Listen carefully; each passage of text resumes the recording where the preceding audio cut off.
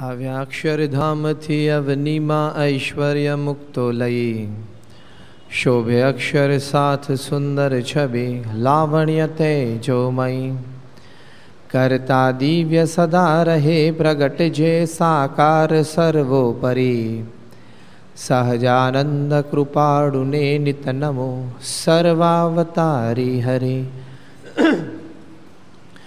શોભો સાધુ ગુણે સદા સરળને જગતે અનાસક્ત છો શાસ્ત્રીજી ગુરુ યોગીજી ઉભયની કૃપાતણું પાત્ર છો ધારી ધર્મ ધુરા સમુદ્ર સરખા ગંભીર જ્ઞાને જછો નારાયણ સ્વરૂપ દાસ ગુણીને સ્નેહે જવંદો અહો શ્રી સ્વામિનારાયણ ભગવાનની જય અક્ષર પુરુષોત્તમ મહારાજની જય ગુણાતીતાનંદ સ્વામી મહારાજની જય ભગતજી મહારાજની જય શાસ્ત્રીજી મહારાજની જય યોગીજી મહારાજની જય પ્રમુખ સ્વામી મહારાજની જય કોઠારી આવો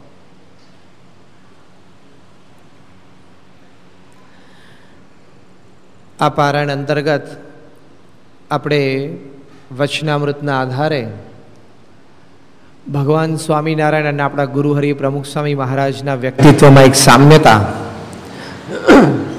એ વિષયક વાતો આપણે સમજી રહ્યા છીએ. એમાં ગઈકાલ આપણે જોયું કે ભગવાન સ્વામિનારાયણે આપણા સૌના આદર્શ માટે આપણને સૌને પ્રેરણા આપવા માટે સાધક તરીકે પોતે જે ભૂમિકા ભજવી હતી, એવી જ એક ભૂમિકા આપણા ગુરુહરિ પ્રમુખ સ્વામી મહારાજે પણ ભજવી છે. ત્યાર પછી આપણે એ પણ વાત સમજેલા કે શ્રીજી મહારાજ જેવા નિર્વિકારી અને નિર્વિષય હતા, એવા જ નિર્વિકારી અને નિર્વિષય આપણા ગુરુહરિ પ્રમુખ સ્વામી મહારાજ પણ છે. એ વાતો આપણે ગઈકાલે સમજેલા. વ્યક્તિત્વનું એક પાસું એ પણ છે કે શ્રીજી મહારાજના હૃદયમાં જેવી એક વિશાળ કલ્યાણ ભાવના હતી, એવી જ વિશાળ કલ્યાણ ભાવના એ આપણા ગુરુહરિ પ્રમુખ સ્વામી મહારાજના હૃદયમાં પણ છે. શ્રીજી મહારાજે પોતે વાત કરી છે કે અમે તો સો કરોડ મનવાર લઈને આવ્યા છીએ અને એટલા જીવનું અમારે કલ્યાણ કરવું છે. એટલી વિશાળ કલ્યાણ ભાવના એ શ્રીજી મહારાજની હતી. મહારાજે પોતે કારણીના પાંચમા વચનાવૃતમાં વાત કરી છે. શ્રીજી મહારાજ કહે છે કે પોતાના જે પ્રેમી ભક્ત હોય, તેના મનોરથ પૂરા કરવા એ જ ભગવાનને અવતાર ધર્યાનું પ્રયોજન છે. અને એ ભેડું અસંખ્ય જીવનું કલ્યાણ પણ કરે છે ને ધર્મનું સ્થાપન પણ કરે છે. એટલે પોતાના પ્રેમી ભક્તોના મનોરથ પૂરા કરવા એ ભગવાન અને સંતને પૃથ્વી પર પધાર્યાનો મુખ્ય હેતુ છે. પણ એ મુખ્ય હેતુને સર કરતાં કરતાં, એટલે કે એની સાથે સાથે પોતે ધર્મનું પણ સ્થાપન કરે છે. અને આ વાત પણ શ્રીજી મહારાજે કરી કે અસંખ્ય જીવનું પોતે કલ્યાણ પણ કરે છે. એટલે પૃથ્વી પર આવીને ભગવાન આવું મોટું કાર્ય કરે છે. એમ ભગવાનની આજ્ઞાથી સંત પણ પૃથ્વી પર પધારે છે, એ પણ આવું મોટું કાર્ય કરે છે. શ્રીજી મહારાજ એક વખત વિચરણ કરતાં કરતાં ધોરાજીમાં ભાદર નદીના કાંઠે પધાર્યા.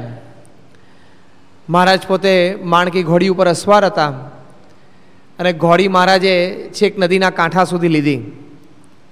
ભાદર તો બહુ પોળાપટવાળી નદી છે અને ચોમાસું હશે તે બંને કાંઠે વહેતી હતી. શ્રીજી મહારાજ આમ વહેતા નીર સામે આમ કરુણામય દ્રષ્ટિએ જોઈ રહ્યા. પોતે ઘોડા ઉપર જ બેઠેલા હતા. મુક્તાનંદ સ્વામી, અન્ય બીજા વડીલ, સંતો કાઠિયરી ભક્તો બધા આજુબાજુ બધા ઊભેલા.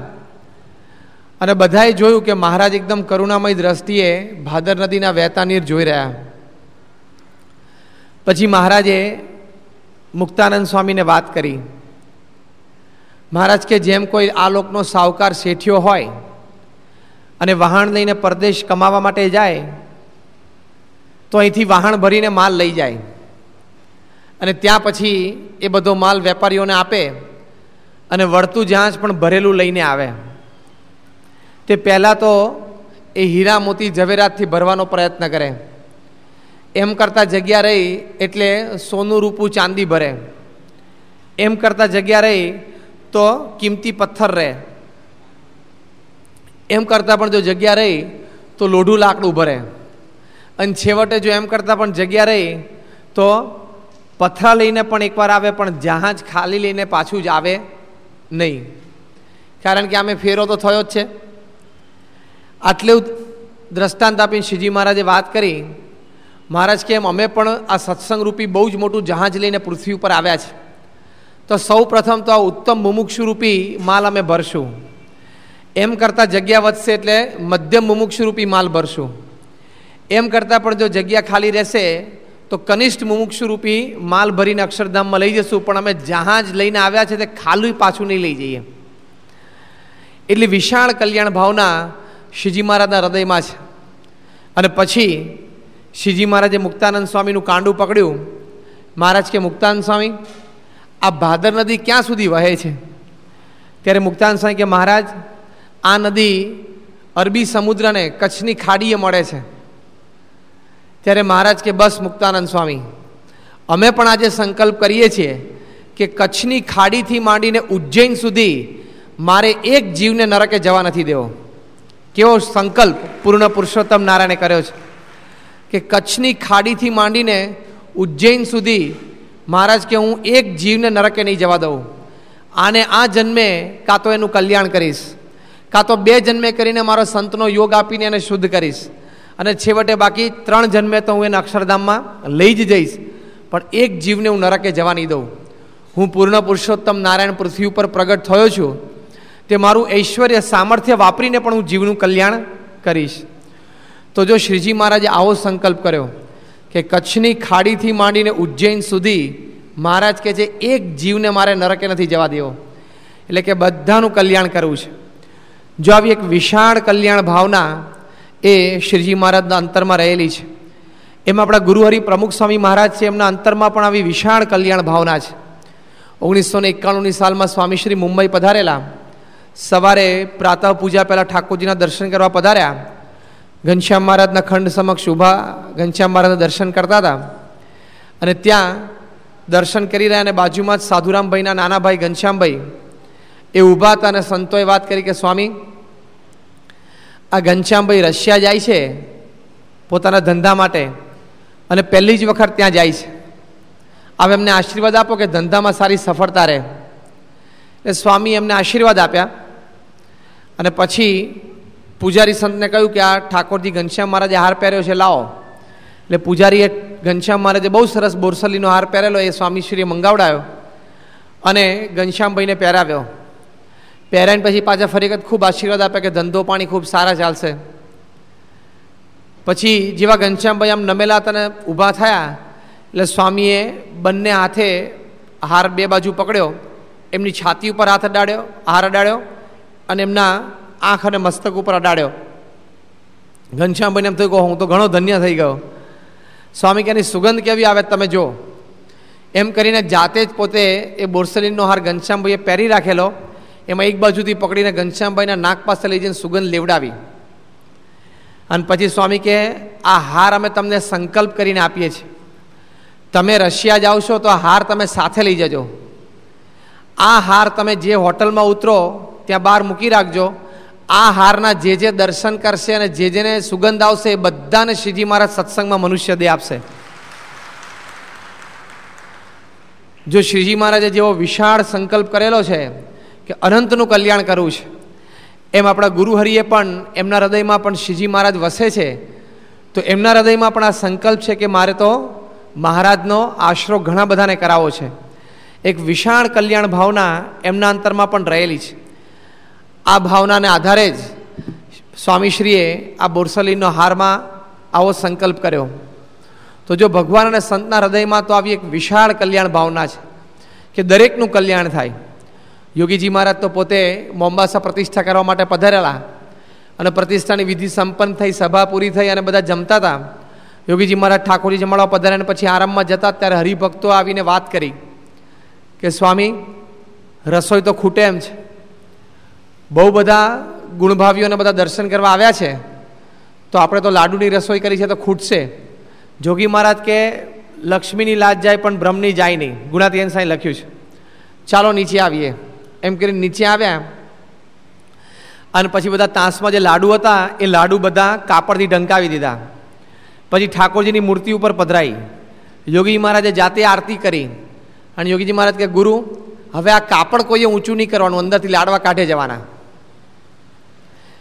તે બધા હજારો જણા જમ્યા, ત્યાં સુધી અંદરથી લાડવા નીકળે જ રાખે. કાપડ ઢાકેલું હતું. અક્ષર પુરુષોત્તમ મહારાજની મૂર્તિ ઉપર પધરાવેલી હતી. અને અંદરથી લાડુ નીકળ્યા જ કરે બધાને પ્રેમથી હરિભક્તોએ જમાડ્યા.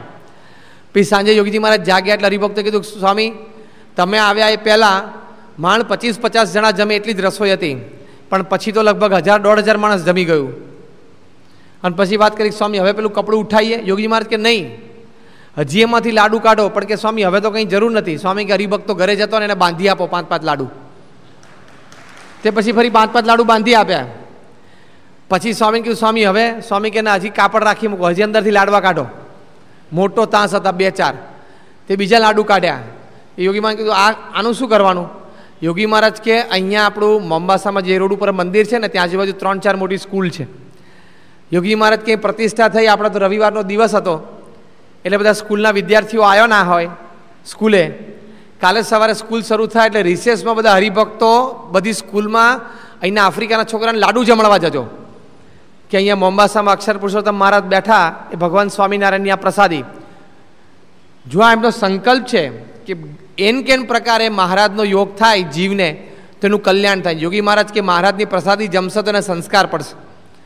તે આજે નહીં તો ભવિષ્યમાં એને મહારાજ કે એમના સંતોનો યોગ થશે.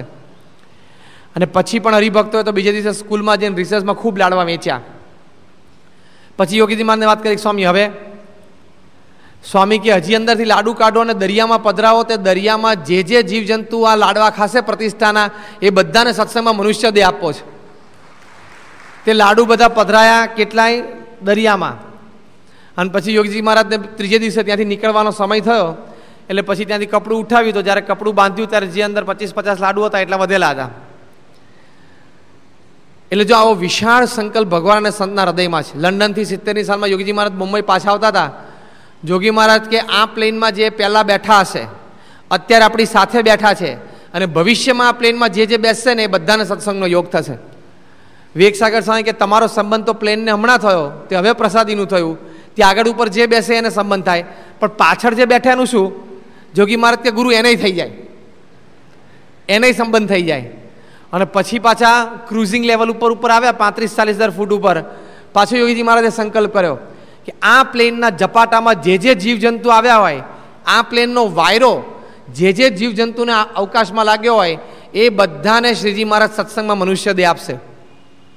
હવે આ તો કેવો સંકલ્પ કહેવાય જબરદસ્ત એટલે ઓગણીસો ને સિત્તેરમાં સંકલ્પ કરેલો, એ પછી જે જન્મ્યા હોય તો આમાંના ઘણા ગણવાના, હા? સિત્તેર પછી જન્મ્યા હોય ને આ ઝપાટાવાળા સમજવાના. દરિયામાં લાડુ ખાધેલા સમજવાના. હા. એવું છે, કારણ કે મોટા પુરુષનો સંકલ્પ છે. તો જો આવી વિશાળ કલ્યાણ ભાવના એ મોટા પુરુષના હૃદયમાં રહી છે, કારણ કે એમના ઈષ્ટદેવ શ્રીજી મહારાજના હૃદયમાં આ ભાવના છે, તો જેવી શ્રીજી મહારાજના હૃદયમાં એક વિશાળ કલ્યાણ ભાવના હતી, એવી જ ભાવના આજે આપણા ગુરુહરિ પ્રમુખ સ્વામી મહારાજના જીવનમાં અને એમના કાર્યમાં આપણને દેખાય છે. આ વિશાળ કલ્યાણ ભાવનાની સાથે સાથે જે એમના આશ્રિત છે, જે એમના શરણે આવ્યા છે, એમનું તો નિશ્ચય ચોક્કસપણે કલ્યાણ કરવું એ તો એમના હૃદયમાં જીવમાં દ્રઢ છે. એમનું તો કલ્યાણ થઈ જ રહ્યું છે. શ્રીજી મહારાજ એક વખત લોયા ગામમાં બિરાજમાન હતા સુરા ખાચરના દરબારમાં. બાર ઓસરીમાં સભા હતી. થોડા સંતો બેઠા હતા, પાછળ થોડા હરિભક્તો બેઠા હતા. દિવાળીના દિવસો હતા. અને તે વખતે સુરા ખાચરના દરજી બધા એમના નવા સીવવા આપેલા કપડાં લઈને આવ્યા. સુરા ખાચર સભામાંથી ઊભા થયા. શ્રીજી મહારાજની કથા વાર્તા ચાલુ હતી. અને દરજી પાસેથી કપડાં લઈ અને પૈસા આપી અને અંદર ચાલતા હતા.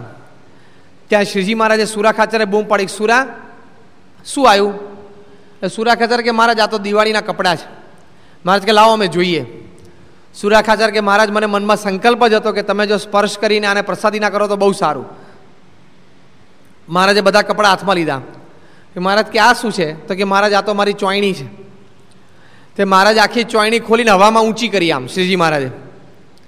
હવે સુરા ખાચરની તો અમે વેસ્ટ લાઇન બહુ મોટી ગર્લ્સ તે એટલે એમની ચોયણી એ બહુ મોટી, એમના થાઈઝ જાડા, એટલે આટલી જાડા જાડી એની એક એક બાઈ થાય.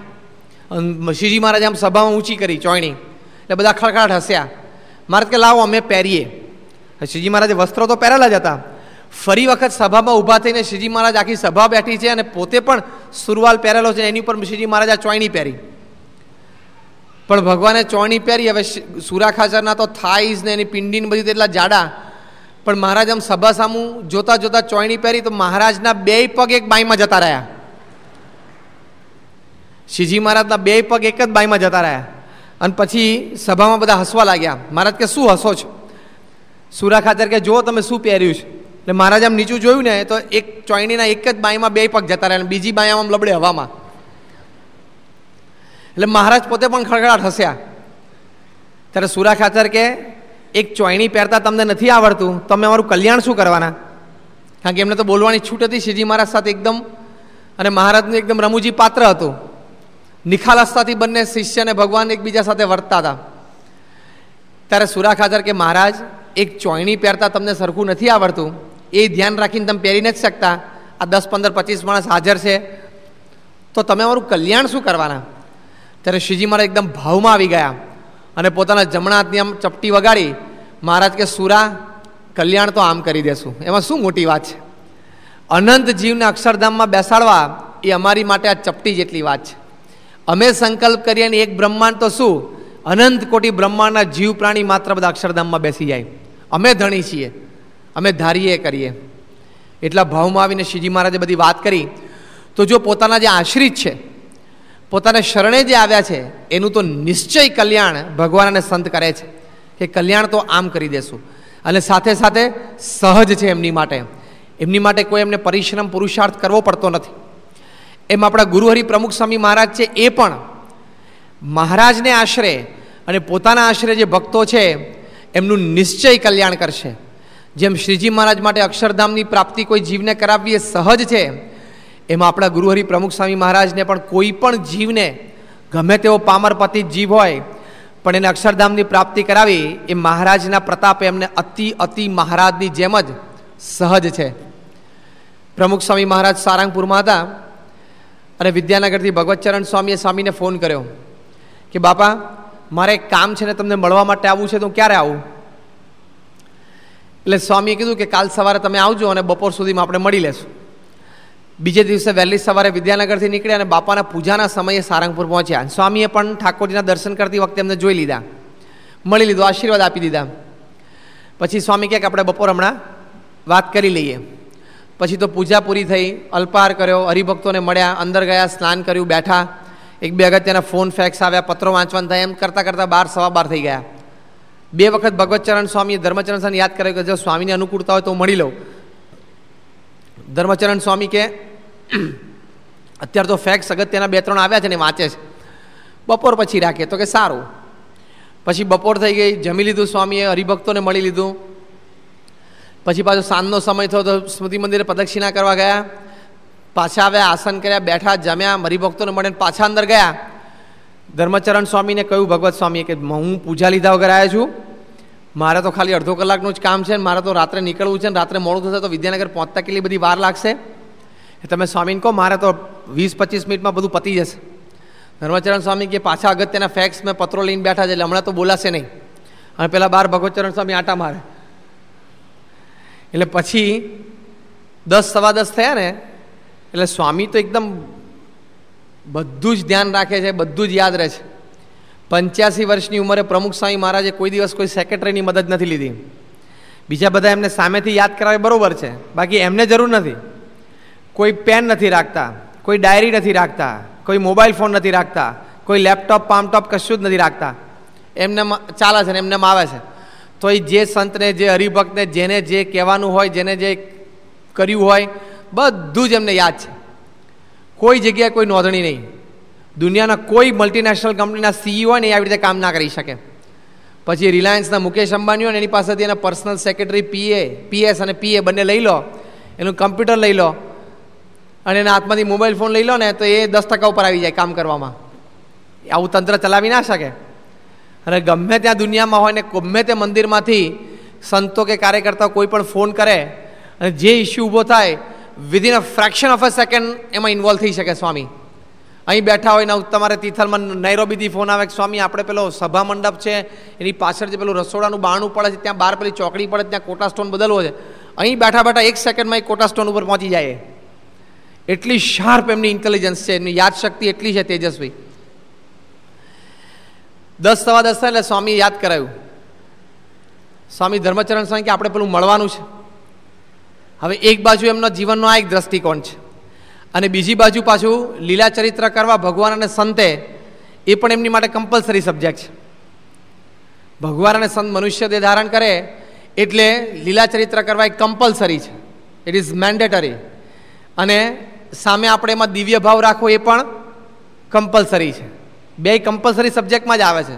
નો ઓપ્શન્સ સ્વામી ધર્મચરણ સ્વામી કે આપણે પેલાને મળવાનું છે ને બોલાવો ધર્મચરણ સ્વામી કે કોને? સ્વામી કે આપણે પેલાને મળવા માટે બોલાયા છે? એને આપણને ફોન કર્યો હતો ધર્મચરણ સ્વામી તો જાણતા હતા કે બે પાંચ હરિભક્તો પણ પરદેશથી આવ્યા છે. તો કોની વાત કરતા હશે? સાંઈ કે આપણે પેલા ભાઈ આવ્યા છે ને બોલાવો ને. ગઈકાલે આપણને ફોન કરેલો. ધર્મચરણ સાંઈ કે, કોણ ભાઈ? સાંઈ કે, પેલા ભાઈ આપણે ખેડાથી આવ્યા છે ચોથું વાક્ય આવું બોલ્યા ને આ સંદર્ભમાં તો પણ ધર્મચરણ સ્વામીથી પકડાયું નહીં. સાજી કોઈથી ન પકડાય. સાંઈ કે, આપણે પટેલ આવ્યા છે આપણને મળવા માટે. સાંઈ ભગવતચરણ સ્વામીને પટેલ કહે છે. હા તો તમને વચ્ચે એક ખાનગી વાત કરી દઉં. સંતોના દીક્ષા નામ તો પ્રમુખ સાહેબ મહારાજે પાડ્યા પણ ઘણા બધા સંતોના ઉલામણા નામ પણ પ્રમુખ સાહેબ મહારાજે પાડ્યા છે. અમારે એક સંતને જમણા કાને થોડું ઓછું સંભળાય તો સ્વામી અને બેરીઓ કહીને જ બોલાવે છે. પણ એ પણ ભગવાન અને સંતનું વાલ છે, એનો પ્રેમ છે. જેમ મા બાપ એના દીકરાનું હુલામણું નામ પાડે, એમ પ્રમુખ સ્વામી મહારાજ આપણા મા બાપ છે. એ પણ જેમ જેમ કરીને જીવને પોતાનામાં હેત થાય, એ રીતે વર્તતા હોય, બોલતા હોય. એક બહુ એમની એક વિશાળ દ્રષ્ટિ છે એક. પણ સ્વામી કે પેલા પટેલને બોલા ધર્મચરણ સ્વામી કે ભગવત સ્વામીની વાત કરતો સ્વામી કે, હા, બસ બસ, એને બોલાવો કે બોલાયા બેઠા, મળ્યા, વાતચીત પૂરી થઈ. પછી સ્વામી ઊભા થતા હતા. અને બાથરૂમ તરફ ચાલ્યા, કાને જનોઈ ચડાવીને પાછળથી ધર્મચરણ સ્વામી ભગવત સ્વામીને કહ્યું કે, આવો પ્રસંગ બની ગયો. સ્વામીને તમારું નામ યાદ નહોતું આવતું. અને સ્વામી કે, પેલા ભાઈને બોલાવો પેલા પટેલને બોલાવો એમ બોલતા હતા. ભગવતચરણ સ્વામી કે, ના હોય. તો કે, હા. ભગવત સ્વામી કે વાત વાત છે, હમણાં બાથરૂમ કંઈ બહાર આવે એટલે કહું કે છે. એટલે એમને બહુ અત્યંત સખા ભાવ છે. જેમ સુરા ખાતે અને શ્રીજી મહારાજ સાથે હતો, એકદમ સખા ભાવથી સ્વામી સાથે વાત કરે. એટલે સ્વામીને આવ્યા, એ કાને આમ જનોઈ ચડાયેલી હતી અને બાથરૂમની બહાર જેમ બાણું ખોલીને બાથરૂમની બહાર પગ મૂક્યો રૂમમાં. ત્યાં ભગવતચરણ સ્વામી સામે ઊભા રહ્યા અને પેટ ઉપર હાથ મૂકીને ઊભા રાખી દીધા સ્વામીને. અને સ્વામીને કે, આ ધર્મચરણ સ્વામી મને વાત કરે છે વાત સાચી? સ્વામી કે, શું? કે તમારું નામ ભૂલી ગયેલા? સ્વામી કે આ તો પેલું કામમાં હતો પત્ર લેખન કરતો એટલે જરા ખ્યાલચૂક થઈ ગયો છે શું ખ્યાલચૂક થઈ ગયો હશે કે છે? આ એક્યાસીની સાલથી હું સાધુ થયા પંદર વર્ષ થયા. અને આટલો તમારી સાથે વ્યવહાર કરું છું ને એક નામ ભૂલી જાઉં છો, તે તમારું અમારે તમારી પાસે કલ્યાણનો વિશ્વાસ કેમ રાખવાનો? તમે કલ્યાણ શું કરશો અમારું કહે છે? સુરાખાચાર્ય ખાચરે શ્રીજી મહારાજે શું કહેલું? કે પાયજામો પહેરતા નથી આવડતો કલ્યાણ શું કરશું? ભગવતચરણ સ્વામી, પ્રમુખ સ્વામી મહારાજને કે અમારું નામ ભૂલી જાઓ છો તમે તમે કલ્યાણ શું કરશો? જે રીતે શ્રીજી મહારાજ ભાવમાં આવીને બોલેલા એવી જ રીતે પ્રમુખ સ્વામી મહારાજે પોતાના જમણો હાથ ઊંચો કરીને ચપટી વગાડી. સાંઈ કે, પટેલ, કલ્યાણ તો આમ કરી દેશો. એમાં શું મોટી વાત છે કે? એકદમ સાહજિક. જે શબ્દો શ્રીજી મહારાજ બોલ્યા હતા, એ જ શબ્દો પ્રમુખ સ્વામી મહારાજ પણ બોલ્યા. સ્વામી કે, પટેલ, કલ્યાણ તો આમ કરી દેશો. પછી પોતે વાત કરી. સ્વામી કે, પટેલ, શ્રીજી મહારાજની સાક્ષાત પ્રાપ્તિ થઈ છે. ભગવાન અને સંતા મનુષ્ય દેહ કરીને મળેવા નથી મળ્યા છે. પછી કોઈ વાતે ખામી ન રહેવા દે. આને આ દેહ આપણે અક્ષરધામમાં જ બેઠા છીએ. તો જો આવી રીતે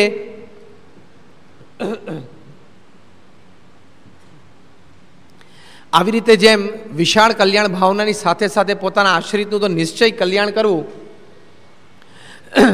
એવી રીતે જેમ શ્રીજી મહારાજના હૃદયમાં હંમેશા ભાવના રહેતી, એમ પ્રમુખ સ્વામી મહારાજના હૃદય, એમ પ્રમુખ સ્વામી મહારાજના હૃદયમાં પણ અંતરમાં એવી ભાવના છે કે દરેક જીવનું કલ્યાણ થાય, પણ સાથે સાથે આ કે પોતાના આશ્રિત એનું તો નિશ્ચય કલ્યાણ કરવું. તો જો આવી એક કલ્યાણ ભાવના એ શ્રીજી મહારાજના હૃદયમાં વસેલી હતી, એવી જ કલ્યાણ ભાવના આજે આપણે પ્રાણ પ્યારા ગુરુહરિ પ્રમુખ સ્વામી મહારાજના હૃદયમાં પણ વસેલી છે. તો આ પણ એમના વ્યક્તિત્વનું એક અદ્વિતીય પાસું છે. અને એ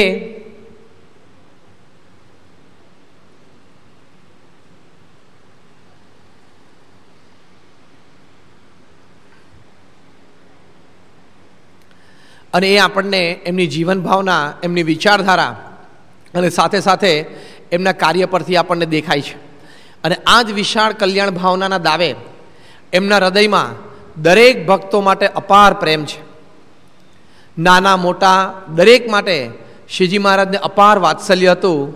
એમ દરેક માટે આજે આપણા ગુરુહરિ પ્રમુખ સ્વામી મહારાજના અંતરમાં પણ અપાર વાત્સલ્ય છે. કહેતા શ્રીજી મહારાજ જેવા ભક્ત વત્સલ હતા. એવા જ ભક્તવત્સલ આજે આપણને આપણા ગુરુહરિ પ્રમુખ સ્વામી મહારાજ દેખાય છે. અને જેમ આપણને પણ લોકમાં કોઈ વ્યક્તિ માટે પ્રેમ હોય, અને એ વ્યક્તિનો આપણી માટે પ્રેમ હોય, તો એની એની માટે આપણે બધી રીતે ઘસાઈ જઈએ છીએ. તમે રાત દિવસ મહેનત કરીને કમાવ છો કોના માટે? કે તમારું કુટુંબ છે, તમારા પત્ની છે, તમારા સંતાનો છે, તમારા આધારે એ કુટુંબીજનો રહ્યા છે, તો એને તમારી બધી જ શક્તિ વાપરીને જેમ એમને સુખ થાય એમ તમે કરવાનો પ્રયત્ન કરો છો. કહેતા, તમે તમારા આશ્રિત કુટુંબીજનો માટે જેમ ભીડો બેઠો છો, એમ ભગવાન અને સંતને પણ આપણા માટે અનંત હેત છે. ગુણાતીયન સ્વામી વાતમાં કહ્યું કે, આપણે જાણીએ જે આપણને ભગવાનમાં હેત છે, પણ આપણા કરતાં તો આપણી ઉપર ભગવાન અને સંતને કોટી ગણું હેત છે. એ હેતના દાવે એ પોતે પણ, જેમાં આપણે આપણા કુટુંબીજન માટે ભીડો વેઠીએ છીએ એમ એ પણ આપણા માટે ભીડો વેઠે છે. પોતે તો સર્વ રીતે સંપન્ન છે. એક જગ્યાએ બેસીને સુખે બધાને મળે અને પોતાની દેહની શુશ્રૂષા કરાવડાવે, તો પણ એને કોઈ ખોટ નથી. પણ આટલું વિચરણને ભીડો વેઠે છે, એની પાછળ એમનું ભક્ત વત્સલપણું છે. શ્રીજી મહારાજ એક વખત વિચરણ કરતાં કરતાં કચ્છ પ્રદેશમાં પધાર્યા. અને ત્યાં મહારાજ ફરતા ફરતા આધોઈ પધાર્યા. રાયધણજીના દરબારમાં ત્યાં માતાજી હતા. એમના મા, એમના પત્ની. બધા ભક્તોએ મહારાજને આવકાર્યા હારતોરા થયા. મહારાજ આસને બેઠા. અને મહારાજ કે, અમને ભૂખ લાગી છે, અમારે થાળ જમવો છે. ત્યારે માતાજીએ કીધું કે, મહારાજ, થાળ બધો તૈયાર છે અને ઠાકોરજીને ધરાવવાનો છે.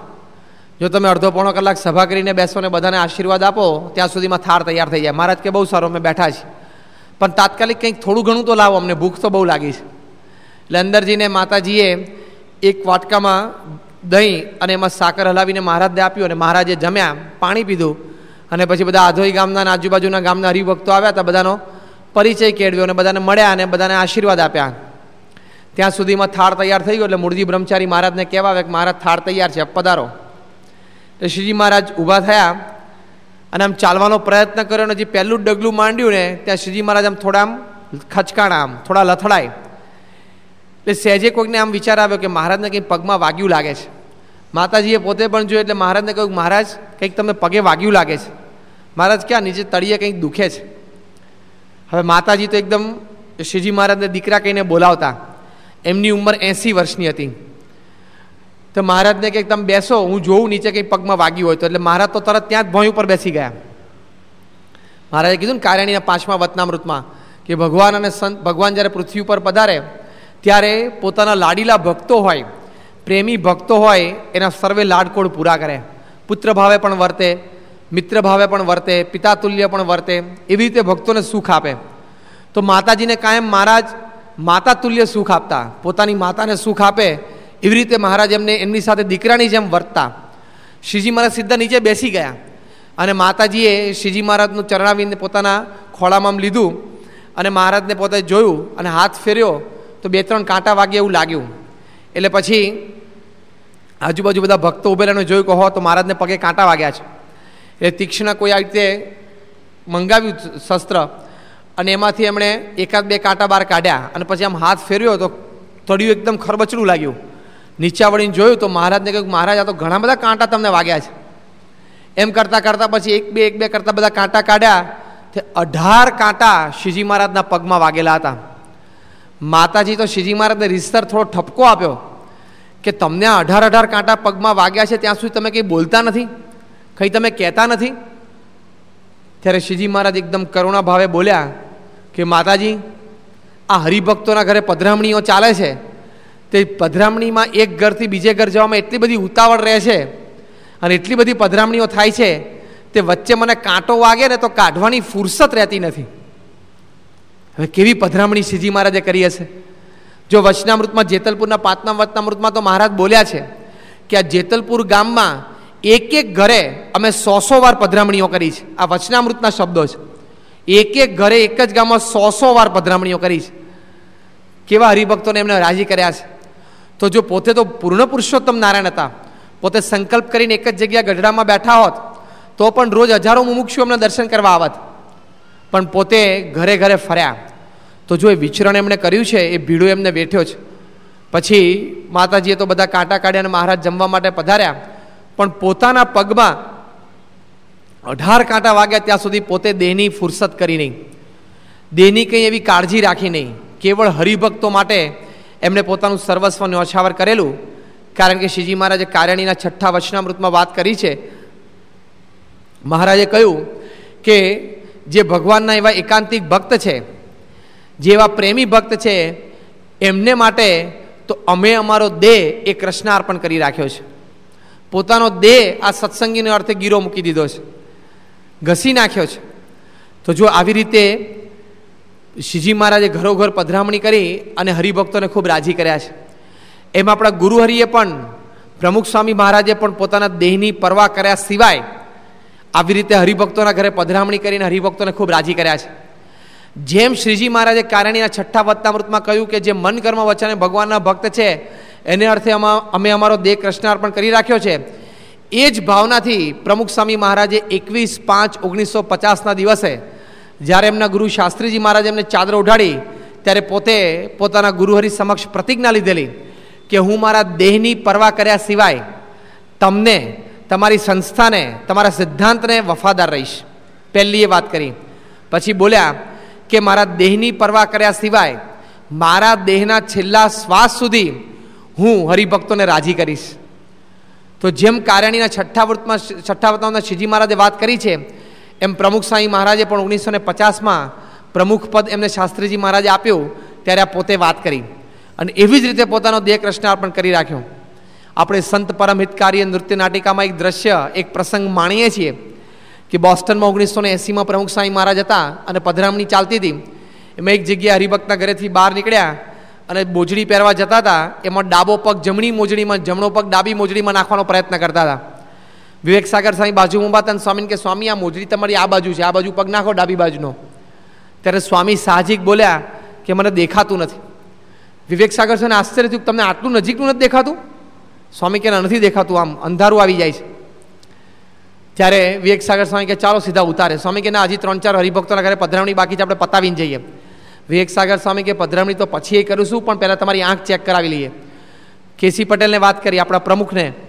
અને એમણે બધા જ વડીલોએ નિર્ણય લઈને સ્વામીને પાછા ઉતારે લઈ ગયા.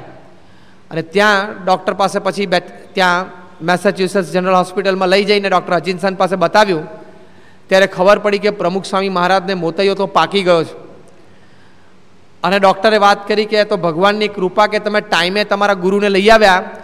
જો એક અઠવાડિયું મોડા પડ્યા હોત તો બંને આંખે જામર થઈ જાત ને બંને બંને આંખે કાયમી જીવનભર દરમિયાનનો અંધાપો આવી જાત. ત્યારે બધા સંતો હરિભક્તોના આંખમાં આંસુ આવી ગયા. વિવેક સાગર ડૉક્ટર કેસી પટેલને બધાએ પૂછ્યું સ્વામીને કે સ્વામી, આટલું બધું તમને અંધારું આવી ગયેલું. દેખાતું નહોતું, આમ અંધાપો આવી ગયેલો. તમે બોલતા નથી કંઈ? ત્યારે સ્વામી કે જો હું બોલું અને તમે બધા કહો કે આપણે ઓપરેશન કરાવી લેવું છે, તો આપણે છેક દેશથી અહીંયા આવ્યા છીએ. બધા હરિભક્તોએ પધરામણી કરાવવા માટે રાહ જોઈ હોય, રજા લઈ રાખી હોય, સભાના બધા કાર્યક્રમ ગોઠવાઈ ગયા હોય, એ બધા કાર્યક્રમ કેન્સલ થઈ જાય. એટલે હું બોલ્યો નહીં. જો આ દેહ પોતાનો કૃષ્ણાર્પણ કરી રાખ્યો કહેવાય. વિવેક સાગર સ્વામી કે બરાબર સ્વામી પધરામણીને સભા તો પછી થાય, પણ આ તમારી આંખ જતી રહેત તો? સ્વામી કંઈ એક અક્ષર બોલ્યા નહીં. એટલે પછી નિર્ણય લેવાયો કે સ્વામીની બંને આંખનું મોતૈયાનું ઓપરેશન કેટરેક ત્યાં જ કરાવવા. તોય સ્વામી શું કે, સ્વામી કે આપણે દેશમાં જઈને કરાવશું, અહીંયા આપણે કાર્યક્રમ બધો ખોરવાઈ જશે. એક દોઢ મહિના ખાટલામાં પડી રહેશું તો બધી સભાને વિચરણનો કાર્યક્રમ બંધ રહેશે. કેસી કાકા સ્વામી ભલે બંધ રહે, પણ પહેલાં ઓપરેશન કરાવી નાખીએ. તો એ સ્વામી પછી ત્રીજી આર્ગ્યુમેન્ટ કરી, સ્વામી કે આપણે દેશમાં બધા ટ્રસ્ટીઓને પૂછવું પડે ઓપરેશન કરાવવું હોય તો.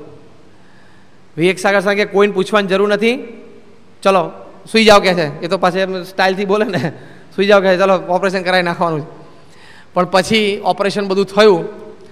પણ જેમ શ્રીજી મહારાજના પગે અઢાર કાંટા વાગ્યા, તો પણ એમની પધરામણી બંધ રહી નહીં અને પધરામણી કરતાં કરતાં વચ્ચે અટકાણા નહીં. અને તો એમના અંતરમાં ભાવના કે આપણે હરિભક્તોને રાજી કરવા છે અને પોતે દેહની કોઈ પણ પ્રકારની દરકાર કરી નહીં. એમ શ્રીજી મહારાજના પગે જેમ અઢાર કાંટા વાગે એમ પ્રમુખ સ્વામી મહારાજના બંને આંખે મોતૈયો આવી ગયો અને પાકી ગયો. ત્યાં સુધી પોતે પણ હરિભક્તોને રાજી કરવાની અંતરથી પોતે તાન રાખ્યું. કારણ કે દેહ કૃષ્ણ અર્પણ કરી રાખ્યો છે.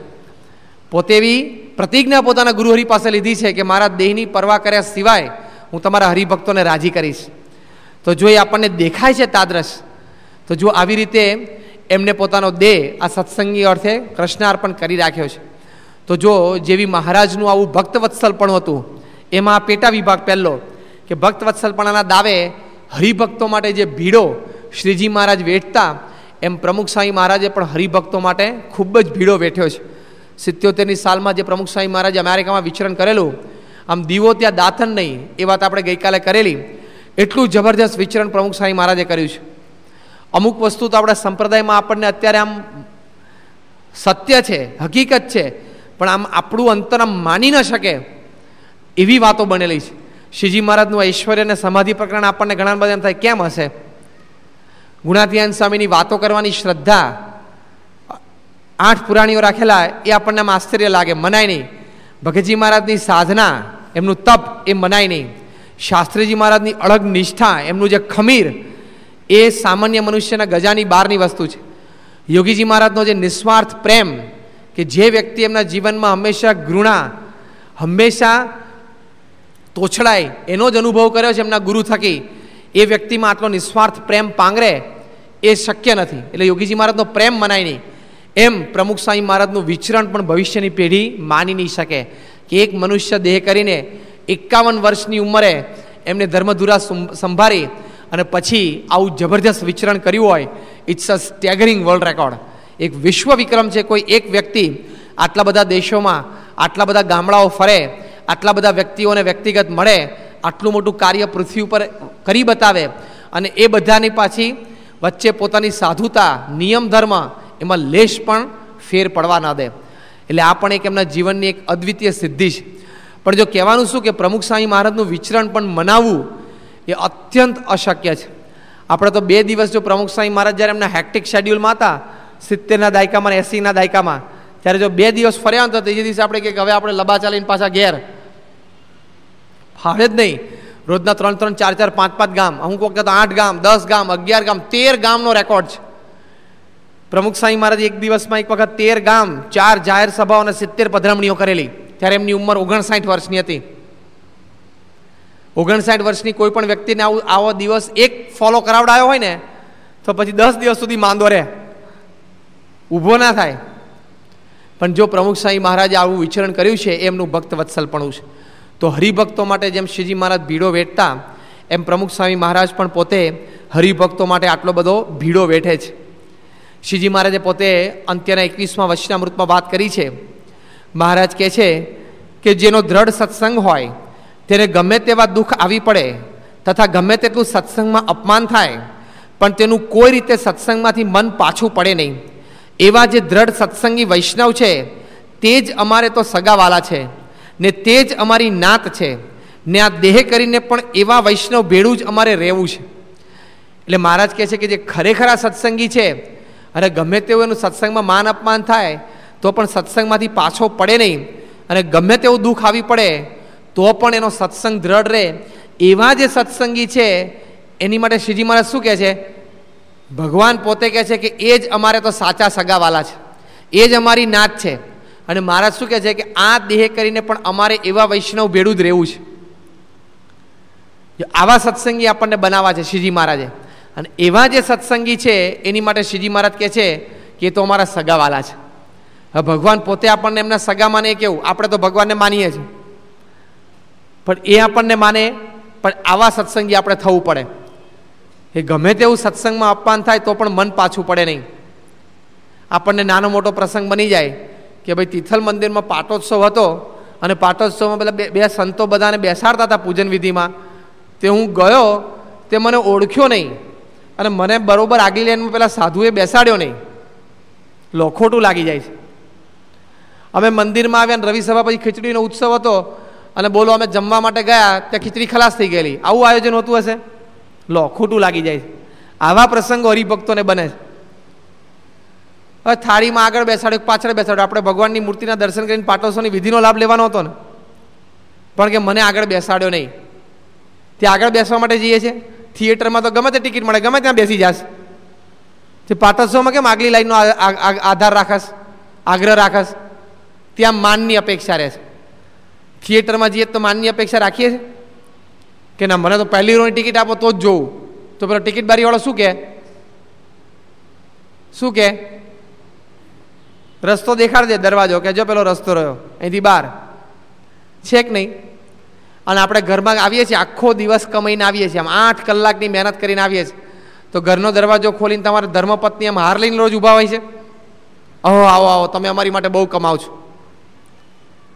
બાણું ખોલીને જે કોઈ ખોલ્યું એના પત્નીએ ખોલ્યું હોય દીકરાઓએ ખોલ્યું હોય, ગમે તે બાણું ખોલીને અંદર ચાલવા માંડે, આવું હોય તો આવવાનું આવું કંઈ નહીં. આવો આવો, એમ કોઈ કહે છે? કોઈ નથી કહેતું, ભાઈ, તો રોજનું છે રૂટીન થયું. જેમ એ ઘર આપણને પોતાનું મનાણું છે, મંદિર પણ પોતાનું મનાણું હોવું જોઈએ. અને પુરુષોત્તમ નારાયણના દરબારમાં કોને અપેક્ષા રાખવાની? જ્યાં પુરુષોત્તમ નારાયણ ધણી તરીકે બેઠા હોય, શ્રીજી મહારાજ અને પ્રમુખ સ્વામી મહારાજ જેવા મહાન સંત બેઠા હોય, એના દરબારમાં આપણને પ્રવેશ મળ્યો જ આપણા ભાગ્ય. પછી ભલે ખૂણામાં બેસવા મળ્યું. મુંબઈમાં નાની પાલખીવાળા હતા અને બજેટ આવે ને પછી લેક્ચર આપે બજેટ ઉપર પોતાના અભિપ્રાયો આપે. કરોડોપતિ શેઠિયાઓ જે મર્સિડીઝ ગાડીમાં ફરતા હોય એસી ઓફિસમાં બેસતા હોય સેન્ટ્રલ એર કન્ડિશન ઘરમાં રહેતા હોય, એ નાની પાલખીવાળાને સાંભળવા માટે ટિકિટ ન મળે તો આમ બાર બારીએ લટકે ધક્કામુક્કી થાય. કારણ કે જાણતા હતા કે આમનો એકાદ શબ્દ જો આપણી કંપનીમાં આપણી પોલિસી પ્રમાણે કામમાં આવી ગયો તો લાખો રૂપિયાનો લાભ થશે. એ જાણતા હતા એવું. એટલે ત્યાં એ સ્વાર્થના દાવે ત્યાં માનને મૂકીને ઊભા રહેતા હતા. જે રીતે પોતાની ઓફિસમાં પટ્ટાવાળાને પણ ટ્રીટ ના કરે ને એવી રીતે પોતે ટ્રીટ થતા હતા. કેમ? ગરજ હતી, સ્વાર્થ હતો કે આપણને અહીંથી કંઈક લાભ થશે. એમ આપણને સત્સંગમાં ગરજ હોય, આપણને સ્વાર્થ હોય કે મારું કલ્યાણ અહીં છે. આ જ શ્રીજી મહારાજને આ જ પ્રમુખ સ્વામી મહારાજ મારું કલ્યાણ કરવાના, જે સિવાય કોઈ કલ્યાણના કરતલ છે નહીં. તો પછી ત્યાં કેમ માન રહે? મોટો સ્વાર્થ મનાણો હોય તો કેમ પછી ત્યાં અપેક્ષા રહે?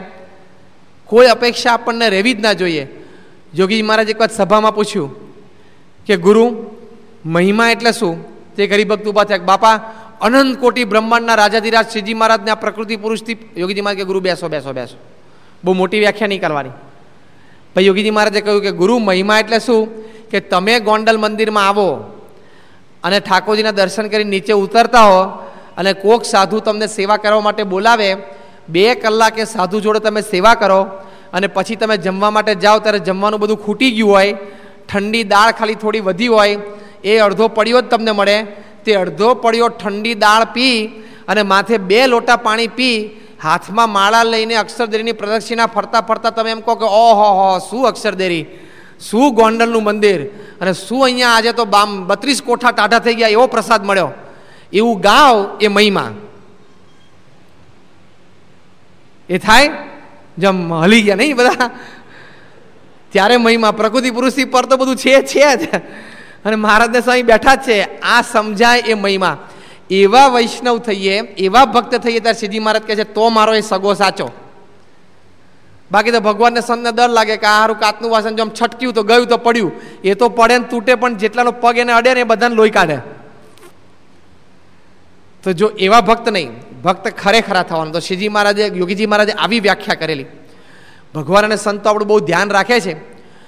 એ પણ આપણે આવા ભક્ત થઈએ તો એમની ભક્તવત્સલપણાની જે આમ ધોધ છે પાણીનો, એ આપણને આમ નવરાવી રહે ન્યોછાવર કરી દે આપણને. પણ આવા ભક્ત આપણે થવું પડે. એટલે આપણે આ જ્ઞાન ઉપદેશ પણ શ્રીજી મહારાજે અંત્યના એકવીસમાં વચનામૃતમાં આપ્યો છે. એ પણ આપણે અહીંયા વાત થઈ. અને આપણને આપણે બધાએ આપણે આ વાત સમજવાની છે કે આવા ભક્ત આપણે થવાનું છે. પણ જો મહારાજ કહે છે કે એવા જે વૈષ્ણવ છે તો અમારે સગાવાલા છે. હવે તમારા સગાવાલા હોય ને નાનો મોટો પ્રશ્ન ઊભો થયો હોય તો તમે પ્રેમથી એમાં રસ લો છો કે નહીં? સંબંધ હોય તો, હો, પાછું બોલવા, ચાલવાના, ઉઠવા, બેસવાના. પાછા તમારા વેવાઈ સાથે ને ભાઈ સાથે ને ભત્રીજા સાથે સંબંધ ના હોય તો ક્યારે મુઓ મરતો કે છે? એવું થઈ જાય. પણ જો સગાવાલાને સંબંધ હોય, બરોબર જો એકબીજા સાથે લાગણીથી જોડાયેલા હોય, તો એના નાના મોટા સુખ દુઃખના પ્રસંગમાં તમે ત્યાં જઈને ઊભા રહો. એ દુઃખમાંથી મુક્ત થાય એવો પ્રયત્ન કરો. અને બધી રીતે એના વ્યવહારમાં તમે રસ લો. એમ શ્રીજી મહારાજ અને આપણી ગુરુ પરંપરામાં આ એક અદ્વિતીય અંગ ભક્તવત્સલપણાનું આપણને જોવા મળે છે કે દરેક હરિભક્તના નાના મોટા વ્યવહારમાં, એના પ્રશ્નોમાં, એના સાંસારિક પ્રશ્નોમાં રસ લઈ અને પ્રશ્ન પૂરો થઈ જાય અને એને ભગવાન ભજવાનું સુખ આવે, એ રીતે પોતે પ્રયત્ન કરે છે. શ્રીજી મહારાજ એક વખત ફરતા ફરતા આધોઈ ગામમાં પધાર્યા કચ્છમાં અને ત્યાં લાધાજીના દરબારમાં મહારાજ ઉતરેલા. હવે પોતે તો લાધાજી ધામમાં ગયેલા, પણ એમના પત્ની હતા સાઠ સિત્તેર વર્ષની એમની ઉંમર હશે. એમના ચાર દીકરાઓ અને ચારે ચાર દીકરાના પણ લગ્ન થઈ ગયેલા એમના ઘરે સંતાનો હતા. એમણે શ્રીજી મહારાજને હાથ જોડીને વાત કરી કે, મહારાજ, તમે પધાર્યા છો તો અમારે કુટુંબનો પ્રશ્ન છે, તમે સમાધાન કરાવતા જાઓ. મહારાજ કે, શું છે?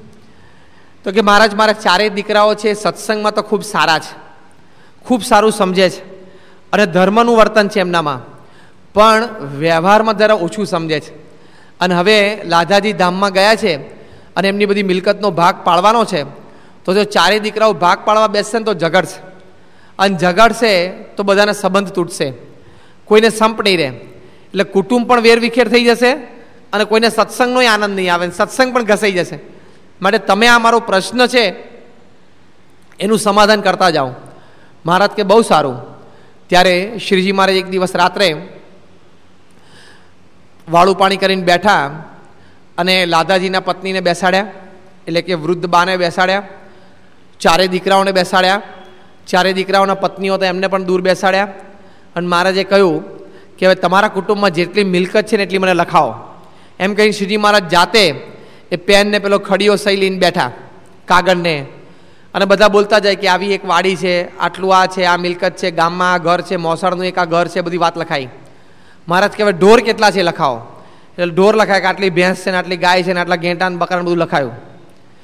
બધી મિલકત, કેશ, જ્વેલરી જમીનો, મકાન બધું મહારાજે લખ્યું. મહારાજ કેમ કરો, હવે તમે બધા જાઓ ને હું મારી રીતે ભાગ પાડું છું. પછી આપણે હું તમને બધાને બોલાવીશ. બધાને મોકલે મહારાજ પોતે ચાર કાગળ લઈને ભાગ પાડવા બેઠા. તે મહારાજ લખે કે આ વાડી આપણે અહીં આ ભાગમાં મૂકીએ. પછી આ વાડીની કિંમત આટલી થાય ને આટલી જમીન છે તો અહીં મૂકીએ. પછી પાછા મહારાજ વિચારે કે ના ના, આ અહીં મૂકવા દે. પાછી આંજોડ મૂકે. એમ કરતાં કરતાં શ્રીજી મહારાજને મોડી રાત થઈ ગઈ પણ ચાર ભાગ પાડ્યા. તે મહારાજ સુકમુનિ સ્વામી કે બોલાવો ચારેય ભાઈઓને. હવે આ તો મધરાત વીતી ગયેલી, બધા સૂઈ ગયેલા. બધાને ઉઠાડીને મહારાજે બોલાયા. આખા કુટુંબને બેસાડ્યા. મહારાજે ફરી વખત બધું વાંચ્યું. મહારાજ કહે કે, આ મિલકત મેં બરોબર વેચી છે, તમે સાંભળી લો. એમ કહીને પહેલાં મુખ્ય લિસ્ટ વાંચ્યું મહારાજે. બધા કે, બરોબર છે, મહારાજ, આટલી મિલકત અમારી છે. મહારાજ કે, કોઈના જાણમાં બીજી કોઈ મિલકત રહી જતી એવું છે નહીં ને? તો કે, ના. મહારાજ કે, જો અમે આવા ચાર ભાગ પાડે એમ કે ચારે ચાર ભાગ મહારાજે વાંચ્યા. બધાને સંતોષ થયો કે, બરોબર, ચાર ભાગ શ્રીજી મહારાજે બરોબર પાડ્યા છે.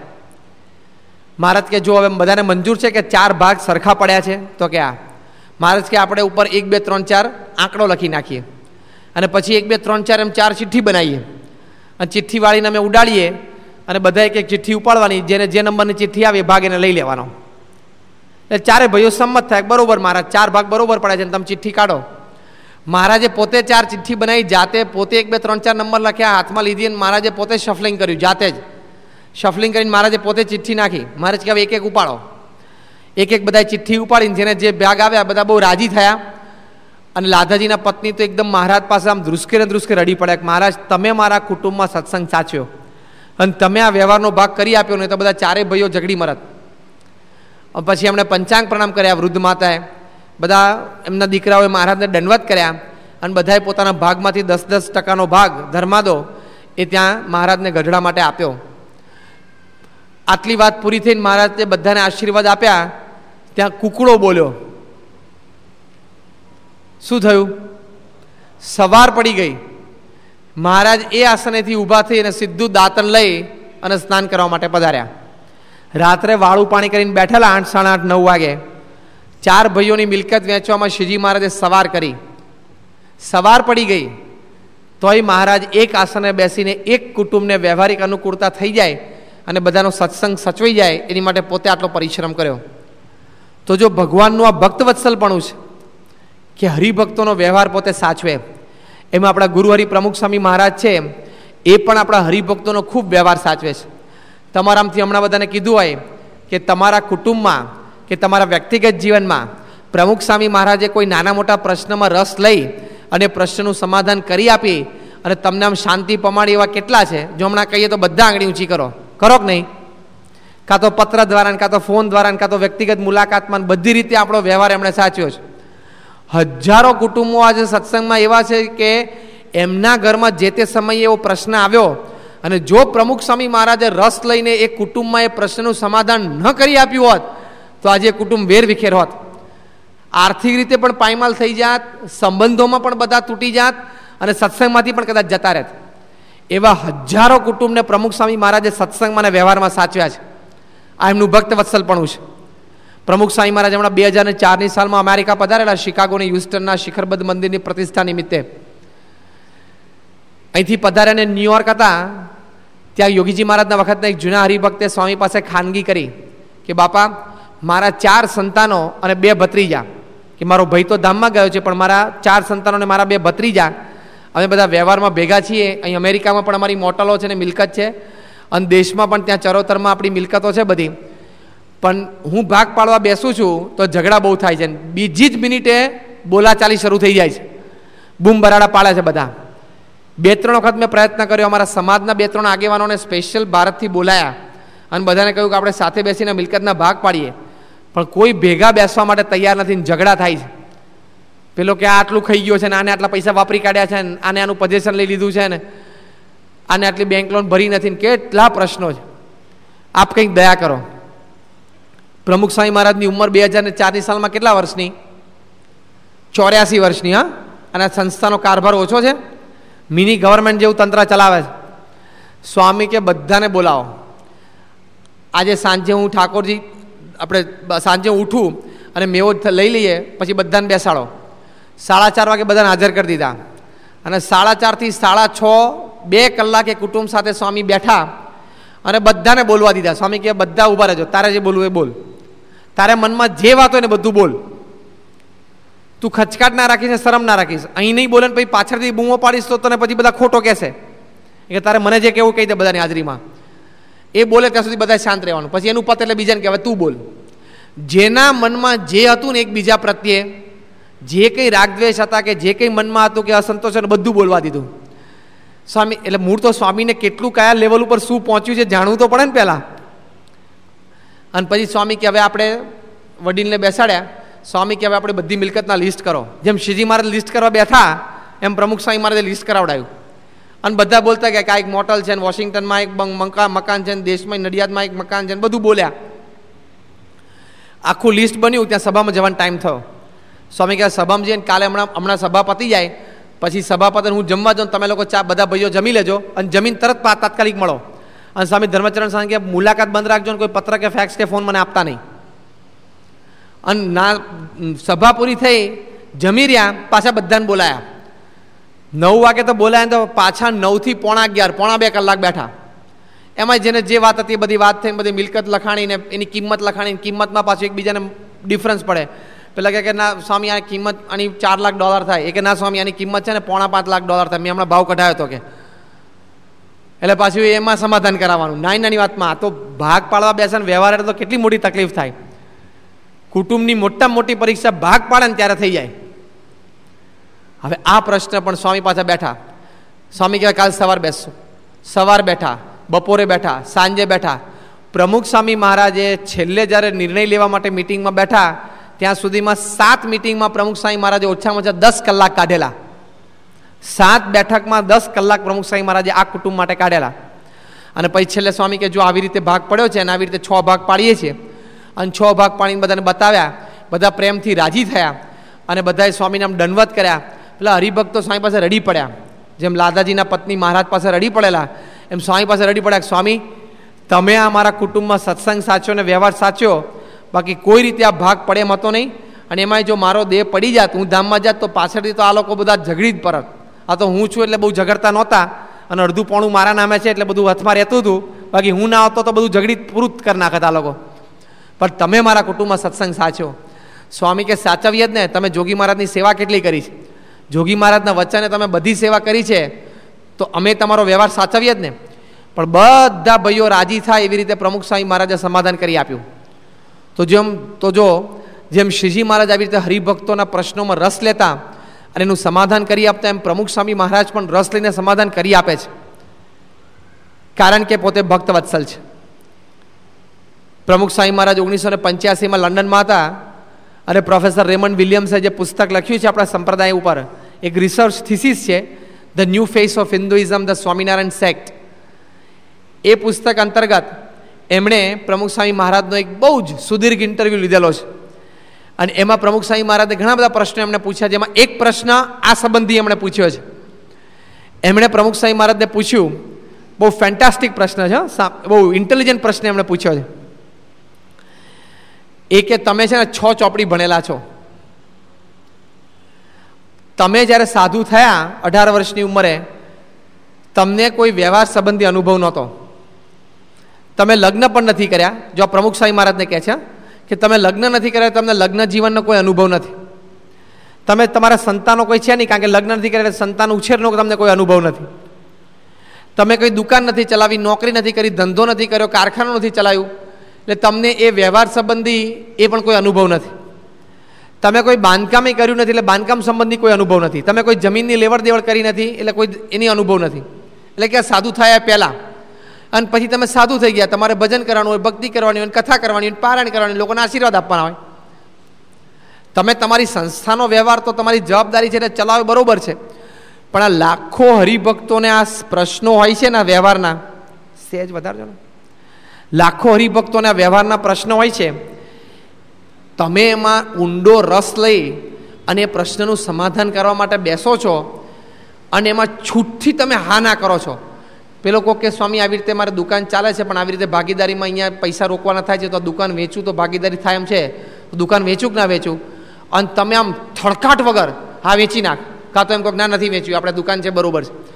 જે હા કે નામ થડકાટ વગર કરો છો, અને આટલા પ્રમાણમાં આમ લાઈન લાગી હોય સવાર, બપોર, સાંજ, તો તમે શેને આધારે કરો છો? કારણ કે આ એકેય વાતનો તમને કોઈ જાતનો અનુભવ નથી. જો સમજે ને, પ્રશ્ન બહુ ઇન્ટેલિજન્ટ પૂછ્યો કે જે વાતનો તમને અનુભવ જ ના હોય એ વાતનો તમે કેવી રીતે લોકોને સલાહ આપી શકો? હા, આપણે દોઢ આવ્યા હોઈએ તો સલાહ આપીએ પાછા. ઘણાને કોઈ વાતનો અનુભવ ના કોઈ પૂછે ને, હા, એ તો પછી આમ કર નાખ ને, આમ કર નાખ ને. અરે, તને પાંચ પૈસાની હૂજ પડતી નથી ને? પણ એવું આપણને ટેવ હોય છે. વન ડે ઇન્ટરનેશનલ પૂરી થઈ ક્રિકેટની, ત્યારે પાનના ગલ્લે બેઠા બેઠા લોકો શું ચર્ચા કરે? વન ડે પૂરી થાય ને તરત અડધો કલાકમાં બધા પાનના ગલ્લે ભેગા થઈ જાય. ખોટો હવે સચિન તેંડુલકર બોલ આઉટસાઇડ ધી ઓફ સ્ટમ્પ જતો હતો અને ત્યાં બેટ ફેરવવાની શું જરૂર હતી? પકડાઈ જાય ને વિકેટ કીપર પાસે. સચિનને ખબર નહીં, હમણાં આમ નથી બોલ સ્ટમ્પની બહાર જઈને રમતા ફાવતું નથી. તો તને ફાવે તું જા જા. હા, તો સચિન તેંડુલકર ઉપર કોમેન્ટ કરે છે, દુનિયાના બધા ગ્રાઉન્ડ ઉપર એને સેન્ચુરી મારે છે, દુનિયાના બધા ટેસ્ટ પ્લેઇંગ નેશન સામે એને સેન્ચુરી મારી છે. વન ડે ઇન્ટરનેશનલમાં ઓગણચાલીસ સેન્ચુરી કરી છે. દુનિયાનો સ્ટાર ગ્રેટેસ્ટ બેટ્સમેન કહેવાય છે. એની ભૂલ તું કાઢમાં. તું ગ્રાઉન્ડ ઉપર જઈને ઊભો તો રહે. એકવાર પેલો બ્રેટ લી. નવ્વાણું માઇલ પર શોએબ અખ્તર પંચાણું માઇલ ઉપર નાખતો હોય ને, તું એને દોડતા જોવે ને, કાર્યક્રમ પૂરો થઈ જાય. શોએબ અખ્તર નાખે ને, આમ બ્રેટ લી કે પેલો ન્યુઝીલેન્ડનો શેન બોન્ડ છે, ફાસ્ટ બોલર, એમ દોડવાનું શરૂ કરે ને, ત્યાં આપણા કાર્યક્રમ પૂરા થઈ જાય. અને પછી આપણે ફરિયાદ કરીએ અમ્પાયરને કે આ બોલર છે ને, દોડીને એક્શન કરીને જતો રહે છે. નાખતો નથી. શું નાખતો નથી? તને દેખાતું નથી. ખબર છે? પાછળ જો શું થયું? એક સ્ટમ્પ ઊભું ના હોય. અને પાનના ગલ્લે ઊભો ઊભો ચર્ચા કરે. સચિન તેંડુલકરે આઉટસાઇડ ઓફ સ્ટમ્પમાં જે ફ્લિક મારવા ના જવાય, પછી ફર્સ્ટ સ્લીપમાં પકડાઈ જ જાય ને. ભાઈ, તારે તારી શેરીમાં અહીંયા દિવાલ ઉપર ચોકથી પેલા કોલસાથી સ્ટમ્પ દોરીને રમવાનું હોય, એનાથી વધારે તારે કોમેન્ટ ના કરાય. પેલો મીઠાવાળો લારી ફેરવતો હોય ને પાંચ રૂપિયા કિલો મીઠું વેચતો હોય ને કે ટાટા આયોડાઇઝ સોલ્ટ છે ને, એનો પ્રીમિયમ ઇસ્યુ બહાર આવે છે, એમાં કામ જરૂર નહોતી. હવે તારે હાંજ પડે, તકલીફ પડે છે. તું એની ટીકા ના કર. પચીસમી તારીખે તારા બૈરા ઘરે બૂમો પાડે છે કે શાકના તેલના નથી વધતા? તું એનું કંઈક પૂરું કર પહેલાં, પછી ટાટા આયોડાઇઝ સોલ્ટનો ઇસ્યુ બહાર પડે છે પબ્લિક ઇસ્યુ એની ચિંતા કરતું પણ લોકોને આવું હોય છે. એટલે દોઢ ડાયા. એટલે એવી લોકો ચર્ચા આપે. એટલે આ બધું પેલાના માનસમાં હોય ને રેમન્ડ વિલિયમ્સના મનમાં. એટલે એને પ્રમુખ સાહેબ મારે પૂછ્યું, તમે, તમને કોઈ અનુભવ નથી ને તમે કેમ સલાહ આપો છો આટલી બધી? શેના આધારે તમે સલાહ આપો છો. ત્યારે પ્રમુખ સ્વામી મહારાજ શું વાક્ય બોલ્યા છે? સ્વામી કે અમારી પાસે કોઈ પ્રશ્ન લઈને આવે અને અમને પ્રશ્ન કે સ્વામી મારે આવો પ્રશ્ન છે, એનો પ્રશ્ન સાંભળીને અમે મનોમન અમારા ઈષ્ટદેવ શ્રીજી મહારાજને પ્રાર્થના કરીએ છીએ કે મહારાજ, આ તમારો આશ્રિત ભક્ત છે, તો જેમ એનું દુઃખ દૂર થાય એમ તમે મને સુજાડો. પછી અમારા ઈષ્ટદેવ અમને જે સુજાડે એ અમે બોલી જઈએ છીએ. કેટલી મોટી વાત કહેવાય. That means God is answering through him ભગવાન એમના દ્વારા આપણને જવાબ આપે છે. પ્રમુખ સાંઈ મહારાજ નથી બોલતા. સાક્ષાત શ્રીજી મહારાજ બોલે છે. સ્વામી કે અમને જે સૂચન અમે બોલી જઈએ છીએ. ઇમિડિયેટલી બીજો પ્રશ્ન રેમન વિલિયમ્સે પૂછ્યો કે તમે કોઈ હરિભક્ત તમારી પાસે આવ્યા હોય તમને પ્રશ્ન પૂછે કે મારી દીકરીનું લગ્ન આ ઠેકાણે અમે કરીએ છીએ? જોયું છે, અનુકૂળ છે, આવી રીતે આ નાનો મોટો ભણેલા હતા જે સામે છોકરો આટલું ભણેલો છે બધું તમને કહે અને પછી તમે આશીર્વાદ આપો કે આજે આ કરજો, બે સુખી થશે. પછી આમ હરિભક્ત આમ નીકળી જાય. પાછળથી તમને અફસોસ થાય છે કે મેં આ લગ્નની હા પાડીને આશીર્વાદ આપ્યા? એના કરતાં ના કીધું હોત તો સારું હતું. લાઈ બોલાઈને કીધું ના, નથી કરવું એમ. એવું તમને થાય છે? જો આ કઈ વ્યક્તિને પૂછે છે? ઓગણીસો ને પંચ્યાસી સુધીમાં જે વ્યક્તિએ વન મિલિયન એક એટલે દસ લાખથી વધારે નિર્ણયો હરિભક્તોના જીવનમાં આપ્યા છે. એમને આ પ્રશ્ન પૂછે કે તમને કોઈ તમારા નિર્ણય ઉપર અફસોસ થાય છે? ત્યારે પ્રમુખ સ્વામી મારા આમ સ્પોન્ટેનિયસલી અને કોન્ફિડન્ટલી બોલ્યા, સ્વામી, કે મને કોઈ અફસોસ જ નથી. અમે મહારાજને અમારા ગુરુ જોગી મહારાજને સંભાળીને જવાબ આપીએ છીએ. અમારે કોઈ દિવસ હાની, ના ને નાની, હાનો પ્રશ્ન જ નથી ઊભો થતો. એકવાર કહી દઈએ મહારાજને સંભાળીને એટલે મહારાજ એનું સારું જ કરે. હવે દુનિયામાં છ બધી વસ્તીમાં એક વ્યક્તિ એવી લઈ આવો કે જેમ કે કે મારા જીવનમાં જે મેં નિર્ણયો લીધા છે એમાં મને અફસોસ નથી. તમારામાંથી ઘણા બધાને પૂછે ને તો ઘણા તો એમ જ કે, જે જીવનમાં મુખ્ય નિર્ણય લીધો છે ને એમાં જ અફસોસ હશે. કે તે દાડે ઉત્સાહમાં ઉત્સાહમાં છાતી છાતી કાઢીને હાર પહેરી લીધો. ફોટા પડાવવા સારું. અને પછી અફસોસના પાર નથી ઘણા બધાને તો, ખબર છે? રડતા રડતા સંતો પાસે આવે તે દાડે ખોટો હાર પહેરી લીધો કે છે, મોટો ચડીને. અને વીડિયો ઉતરતી હતી માંડવે બેહી ગયો, પણ ઉપાધિને પાર નથી. પ્રમુખ સાંઈ મહારાજને કોઈ અફસોસ નહીં. અને પ્રશ્નો બધા જે આવે છે, પ્રમુખ સાંઈ મહારાજ પાસે, આપણે અહીંયા જેટલા હોલમાં બધા બેઠા છીએ ને આપણા બધાના જીવનના બધા પ્રશ્નો ભેગા કરીએ ને, એ પ્રમુખ સાંઈ મહારાજને એક અઠવાડિયે અટેન્ડ કરવાના થાય છે. પંચ્યાસી વર્ષની ઉંમરે પણ અત્યારે. પ્રમુખ સાંઈ મહારાજને એક સાધુ તરીકે હમણાં મૂકી દો. પ્રમુખ સાંઈ મહારાજને ભગવાનના અખંડ સંત એ બધી વાતો હમણાં આપણે નથી સમજવી. એમની જે આ વ્યવહાર કુશળતા છે, એ જે પ્રશ્નને સમજી શકે છે, એ પ્રશ્નનું નિરાકરણ કરી આપી શકે છે, એ બુદ્ધિ શક્તિના તોલે પણ કોઈ ના આવી શકે. આપણને ક્યાં કોઈ સવારે પોરના ઉઠીને બે જણાએ પૂછવા આવે છે? બે જણાએ આપણું મોઢું જોવા આવે છે?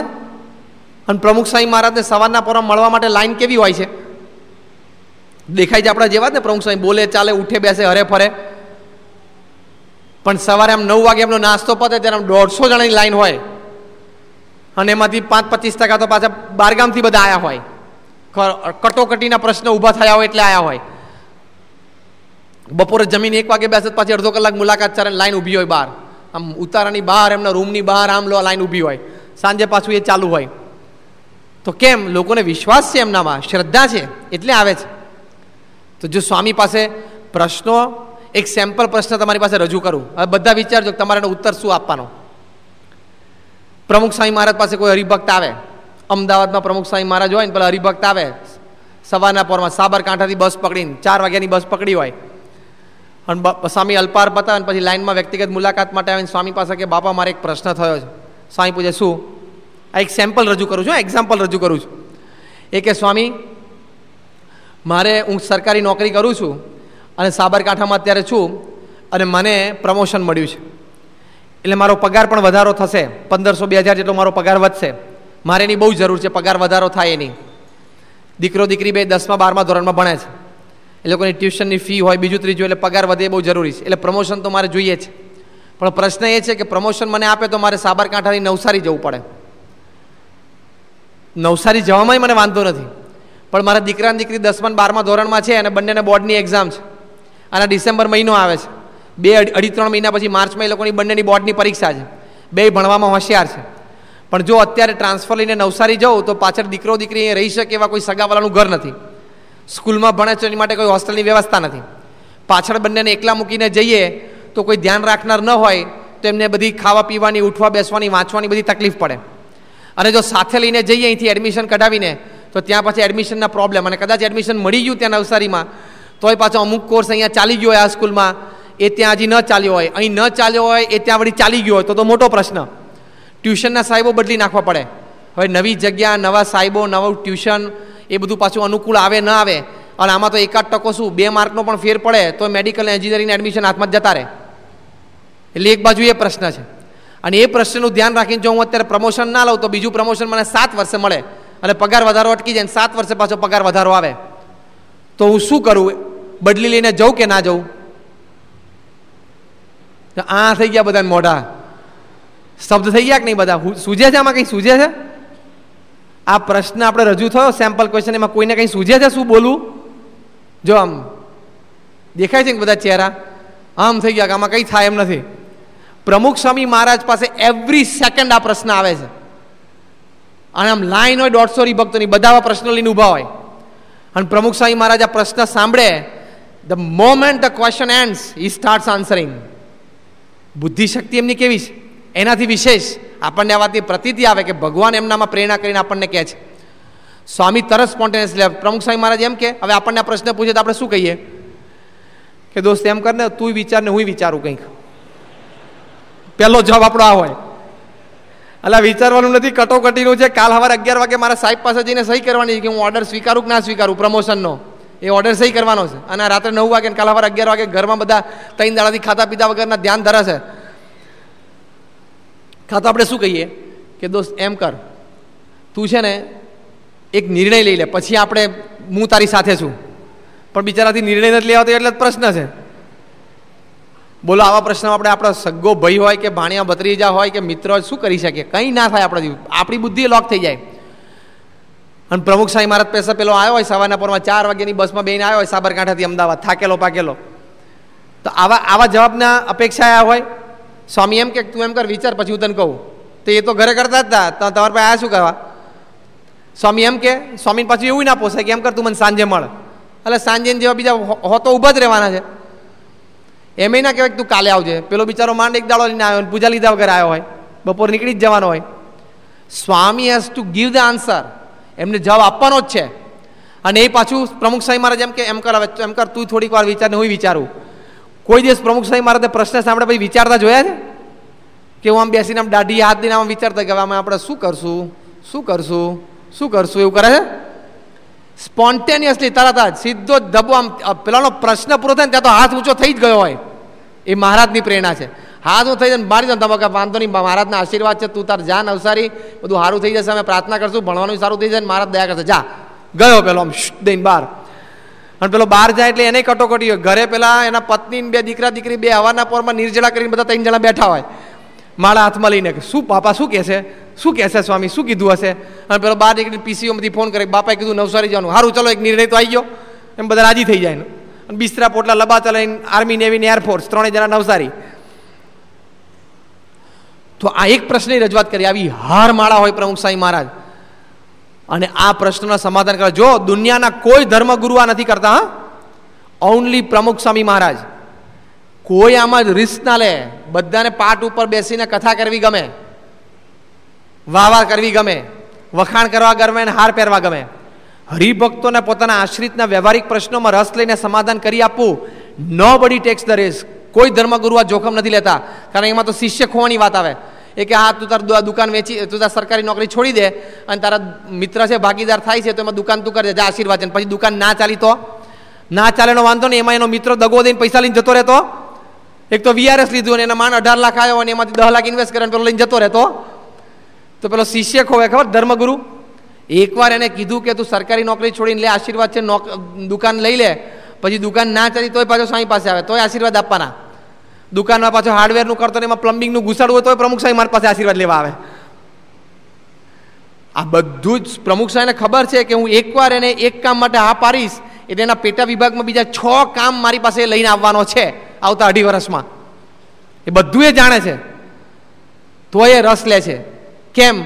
એ ત્રીજો પ્રશ્ન સીધો રેમન વિલિયમ્સે પૂછ્યો વિથ વોટ ઇન્ટેન્શન બહુ જ ફાઇન ક્વેશ્ચન પૂછ્યો કે, કયા હેતુથી તમે એક ધર્મગુરુ એક સાધુ, એક ત્યાગી હોવા છતાં તમારા હરિભક્તો જે ગ્રસ છે એના વ્યવહારિક પ્રશ્નોમાં તમે રસ લો છો. અને ત્રીજા પ્રશ્નનો જવાબ પણ પ્રમુખ સ્વામી મહારાજ સ્પોન્ટેનિયસ આપ્યો. સ્વામી કે, અમે હરિભક્તોના પ્રશ્નમાં એટલા માટે રસ લઈએ છીએ કે એને કોઈ વ્યવહારિક દુઃખ હોય અને કોઈ જગ્યાને ઠાલવવાનો એની જગ્યા ના મળતી હોય, અમારી પાસે ઠાલવે તો એનું મન હળવું થઈ જાય અને અમે અમારા ઈષ્ટદેવને સંભાળીને એને ઉત્તર કરીએ, આશ્વાસન આપીએ, સમાધાન કરીએ આપીએ અને આશીર્વાદ આપીએ તો એને માનસિક રીતે ઘણી રાહત થઈ જાય, એના પ્રશ્નનું સમાધાન પણ એને મળી જાય, એને એક રસ્તો મળી જાય બીજો ગૂંચવાતો હોય તો, અને કાર્ય કરવા મંડી પડે, તો એના એ પ્રશ્નનું સમાધાન થઈ જાય, તો એને ભગવાન અને સંતમાં પ્રીતિ વધે, એને સત્સંગ કરવાની દ્રઢતા વધે, અને ભગવાનનું ભજન એને પ્રશ્ન ઓછા હોય તો સારું કરી શકે, એટલે અમે વ્યવહારિક પ્રશ્નમાં રસ લઈએ છીએ. જો આ શું કહેવાય? આ એનું ભક્ત વત્સલપણું કહેવાય. પ્રમુખ સાંઈ મહારાજ બોચાસનમાં તને એક વખત સંતોએ કીધું કે સ્વામી, હવે તમારે પણ પોપ જેવું કરવાનું. શનિ, રવિ એક વખત જે શિખર મંદિરમાં રહેતા હોય, ત્યાં ગેલેરીમાં બહાર આવવાનું અને આમ હાથ ઊંચો કરી દેવાનો, આમ આમ આમ. આટલા બધા બેઠા હોય મામા મામા કરી દેવાનું. એમાં બધા વ્યક્તિગત દર્શન સમજી લેવાના, કથા સમજી લેવાની ચરણ સ્પર્શ સમજી લેવાના પત્ર લેખન આવી ગયું, ફોન આવી ગયું, બધું આવી ગયું. સ્વામી આમ સાંભળી રહ્યા. વિવેક સાગર સ્વામીએ કહ્યું, યોગીચરણ સ્વામી ઊભા હતા, બીજા એક બે સંતો ઊભા હતા, બધાએ સૂર પુરાવ્યો. કે હા સ્વામી, હવે તો એવું જ કરવા જેવું, તમારી ઉંમર અત્યારે બ્યાસી વર્ષની થઈ. ત્રણ ચાર વર્ષ પહેલાંની વાત છે.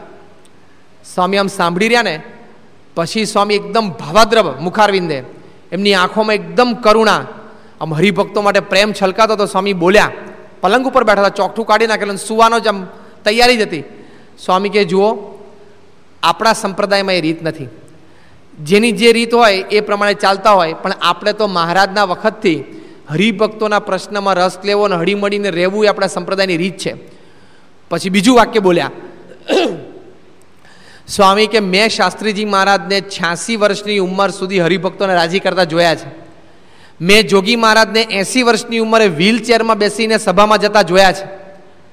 તો મારાથી પગ વાળીને બેસાય નહીં અને હું બેસું એક જગ્યાએ પગ વાળીને, તો મેં મારા ગુરુની યથાર્થ સેવા કરી ના કહેવાય. હવે એમને સેવામાં શું બાકી છે? તોય પોતે આવું માને છે, આવી ભાવનાથી જીવે છે અને આવું બોલતા બોલતા પોતે ગળગળા થઈ ગયા.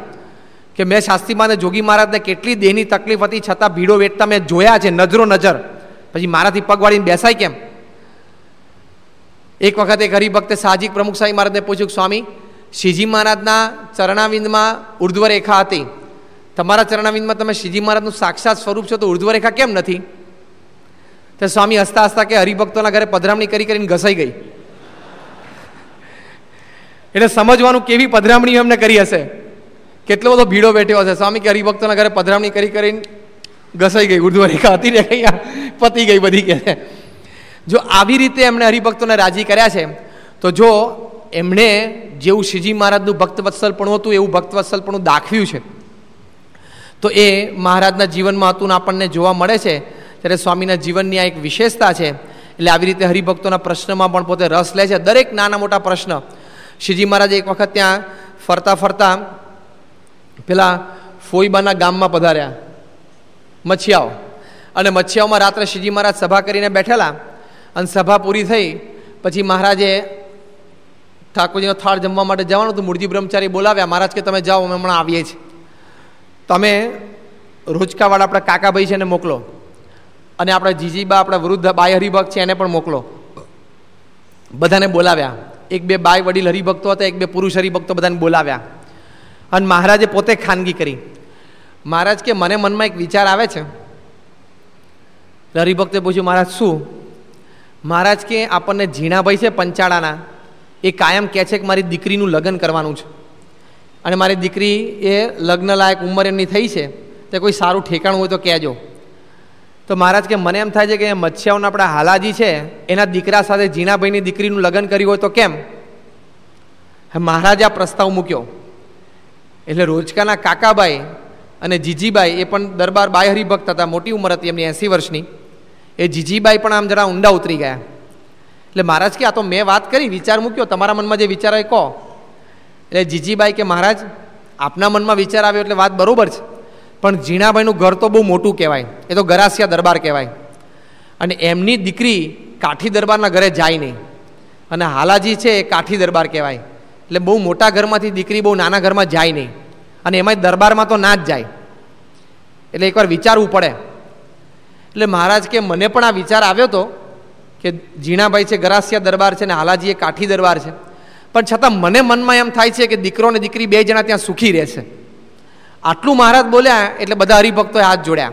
જીજીબાઈએ હાથ જોડ્યા, કાકાભાઈએ હાથ જોડ્યા કે મહારાજ, જો તમને મનમાં એમ લાગતું હોય કે બેના લગ્ન થઈને બે સુખી રહેશે, તો તો સારું છે. મહારાજ કાકાભાઈને કે તમે જાઓ હાલાજીના ઘરે અને જીજીબાઈને મોકલ્યા કે તમે જાઓ દીકરીને જઈને સમજાવો કે અમારે હાલાજીના દીકરા સાથે એમના લગ્ન કરાવવા છે. એટલે બે જણા ગયા મહારાજની આજ્ઞા પ્રમાણે. જીજીભાઈ સીધા ત્યાં જીનાભાઈની દીકરીને મળ્યા કે મહારાજ તારું લગ્ન નક્કી કરે છે. હવે એમને તો મહારાજ પ્રત્યે અનન્ય ભાવ હતો એટલે જીજી એટલે જીણાભાઈના દીકરીએ કહ્યું કે જેમ મહારાજ નક્કી કરતા એમ હું રાજી છું. અહીંયા કે એક હાલાજી છે કાઠી દરબારના દીકરા સાથે મહારાજ તારું નક્કી કરે છે એટલે મને મોકલી છે. ત્યારે જીણાભાઈના દીકરી કે કે બહુ સારું, મહારાજની ઈચ્છા હોય અને મહારાજ પોતે નક્કી કરતા હોય તો હું રાજી છું. આ બાજુ હાલાજીના દીકરાએ હા પાડી દીધી. બે આશ્રિત કુટુંબો હતા મહારાજના. અને મહારાજ પાસે આવીને બે જણાએ વાત કરી. ત્યાં સુધી મહારાજ થાળ જમવા ના બેઠા. મહારાજ કે તમે મને બંને જણા શું કહે છે? જવાબ લઈને આવો, પછી હું જમવા બેસું. અને બંને જણા જવાબ લઈને આવે કે મહારાજ દીકરો ને દીકરી બે હા પાડે છે. ત્યારે મહારાજે ધીમેથી જીજીબાઈને પૂછ્યું કે તમે દીકરીને વાત કરી? પણ દીકરીના બાપ ઝીણાભાઈને વાત કરી? એટલે કે મહારાજ એમને વાત નથી કરી, નથી મળ્યા. એટલે મહારાજે કાકાભાઈને કીધું તમે જાઓ, ઝીણાભાઈને વાત કરો. પછી થાળ નહોતા જમે ખબર પડી, એટલે પછી થાળ જમવા બેસાડે હરિભક્તોએ. અને કાકાભાઈ ઝીણાભાઈને વાત કરી. ઝીણાભાઈ તો એકદમ ઊંડા ઉતરી ગયા. કે હા, આટલા મોટા ઘરની અમારી અમારી દીકરી આવી રીતે ઉછેરી હોય ને આ નાના ઘરમાં જશે? પણ છતાં એક બાજુ એમને મનમાં વિચારતો કે મહારાજ પોતે જો આ સંકલ્પ કરતા હોય તો પછી આપણે, એટલે એમણે પોતે ઝીણાભાઈ એમને દીકરીને પૂછ્યું કે મહારાજ આવું નક્કી કરે છે? એની દીકરી કે મહારાજ નક્કી કરતા હોય તો હું રાજી છું. પછી સમાચાર આવે સ્વામી મહારાજ બહુ રાજી થાય મહારાજ કે કાલે મારી પ્રાતઃ પૂજા પતે, પછી આપણે વિધિ કરાવીએ અને ત્યાં જ બંનેનું શક પણ ગોઠવીએ. ચટ મગની પટવ્યા. શ્રીજી મહારાજ તો એકવાર નિર્ણય લે એટલે તો. અને પછી મારે ત્યાં બીજે દિવસે સવારે બધી વિધિના એંધાણ કર્યા. બધી વિધિ પોતાના પ્રાતઃ પૂજા પછી કરાવડાવી. મારા જીણાભાઈને પૂછ્યું કે તમારી દીકરીને લગ્ન થાય તમારે કરો શું વ્યવહારમાં? એ બધો વ્યવહાર કરાવડાયો. બે બાજુથી બધો વ્યવહાર કરાવડાયો. અને મહારાજ કે જમણમાં શું હોય? એટલે જીજીભાઈ કે મહારાજ, અમારા દરબારોમાં સગાઈ થાય ત્યારે શેલણનું ભોજન હોય, એની રસોઈ કરાવીએ. મહારાજ કે તો કરો અને ઘી અમે પીરસશું. અને બધા દરબારોને બધાને જમવા બેસાડે એટલે હરિભક્તો હાજર હતા અને મહારાજ પોતે ઘીની વાડી લઈને નીકળ્યા. પણ કેવી રીતે પીરસે? એક જણાની તાસમાં આખું આમ ઘીની વાડી ઊંધી કરી દે ને ઘીથી તાસ ભરચક ફૂલ કરી દે ને, પછી બીજાને પીરસવાનું હોય ને, તો વચ્ચે શ્રીજી મારા ધાર બંધ કરે નહીં. ખ્યાલ આવે ને? ઘીની ધાર વચ્ચે બંધ ના થાય. એક થાળીમાંથી બીજી થાળી તરફ પહોંચતા. વચ્ચે ક્યાં જાય ઘી? નીચે પડે. કોકે મહારાજે કીધું, મહારાજ, કે પાણી હોય તોય લોકો એવું ના કરે. આ તો ઘી હતું. મહારાજ કે, બંને જણાએ દીકરા, દીકરી અમારી મરજીમાં ભળીને હા પાડી છે, તો અમે પણ રાજી છીએ. અને જેમ તમને રાજી હોય ને તમે બધો વ્યવહાર કરો એમ અમે આ અમારો રાજીપો દર્શાવીએ. તો ઘી ઢોળી એવી રીતે મહારાજે ઘી પીરસ્યું. બધાને સ્મૃતિ આપી. ખૂબ ઘી જમાડ્યું બધાને. પછી મહારાજે બંને દીકરા દીકરીને આશીર્વાદ આપ્યા. મહારાજ કે, તમે ખૂબ સુખી રહેશો બંને જણા. અને અમે તમને આશીર્વાદ આપીએ છીએ કે જ્યાં સુધી આ પૃથ્વીનું પટ રહેશે, ત્યાં સુધી તમારી પેઢીઓમાં કાયમ સત્સંગ રહેશે. એવા આશીર્વાદ શ્રીજી મહારાજે આપ્યા. પણ એ લગ્ન શ્રીજી મહારાજે કરાવડાયું. હવે આપણને વ્યવહારિક દ્રષ્ટિ કે લૌકિક દ્રષ્ટિ એમ લાગે કે ઘણી વખત આવું વ્યવહાર કોઈ મોટું ઘરનું હોય, નાના ઘરનું હોય, બધું. પણ ભગવાન અને સંત બધું નિર્માણ કરતા હોય છે, બધું જાણતા હોય છે. ક્યાં કોણ સુખી થશે એ પોતે અંતર્યામી છે. પણ આવા પોતે ભક્તવત્સલ હતા કે પોતાના આશ્રિત ભક્તોનું સર્વ પ્રકારે હિત ઈચ્છતા. એનું આ લોકનું જીવન પણ પોતે ગોઠવી દેતા. પરલોકનું તો પોતે નિશ્ચય કલ્યાણ કરવાના છે. પણ આ લોકનો વ્યવહાર પણ સર્વ પ્રકારે પોતે ગોઠવી દેતા આવા પોતે ભક્તવત્સલ હતા. એમ પ્રમુખ સ્વામી મહારાજ પણ આવા જ ભક્તવત્સલ છે. મુંબઈના હરિભક્ત છે સાધુરામભાઈ અને એમના દીકરા માર્કણભાઈ અત્યારે તો માર્કણભાઈ એમના પત્ની ફૂલ ટાઈમ દિલ્હી અક્ષરધામની સેવામાં છે. પણ આજથી લગભગ પાંચેક વર્ષ પહેલાં, છ વર્ષ પહેલાં માર્કંડભાઈએ બાપાને વાત કરી સ્વામી, બે દીકરીઓ મોટી થઈ ગઈ છે અને એમને લગ્ન કરવાના છે, તો હવે કોઈ સારો સત્સંગી છોકરો હોય તો તમે કહેજો. હવે આ તો કેટલા મોટા ઘરના આખા કુટુંબ. અને સ્વામીને વાત કરી રાખેલી સ્વામી, બંને દીકરીઓ એકદમ ચુસ્ત સત્સંગી છે, બહાર પાણી પણ કોઈ દિવસ નથી પીધું, કોઈ દિવસ ફિલ્મ નથી જોઈ. હવે આ તો કરોડોપતિનું ઘર કહેવાય, અબજોપતિ માણસો કહેવાય. અત્યારે ત્યાં વાલકેશ્વરમાં જે ફ્લેટમાં રહે છે બધા કરોડો રૂપિયાના એ ફ્લેટ છે. કે સ્વામી, પણ બંને દીકરીઓ એમ કહે છે કે ચૂસ સત્સંગી છોકરો જોઈએ. નિયમ, ધર્મવાળો, રવિ સભા, આ તે બધું વ્યવસ્થિત ભરેવો.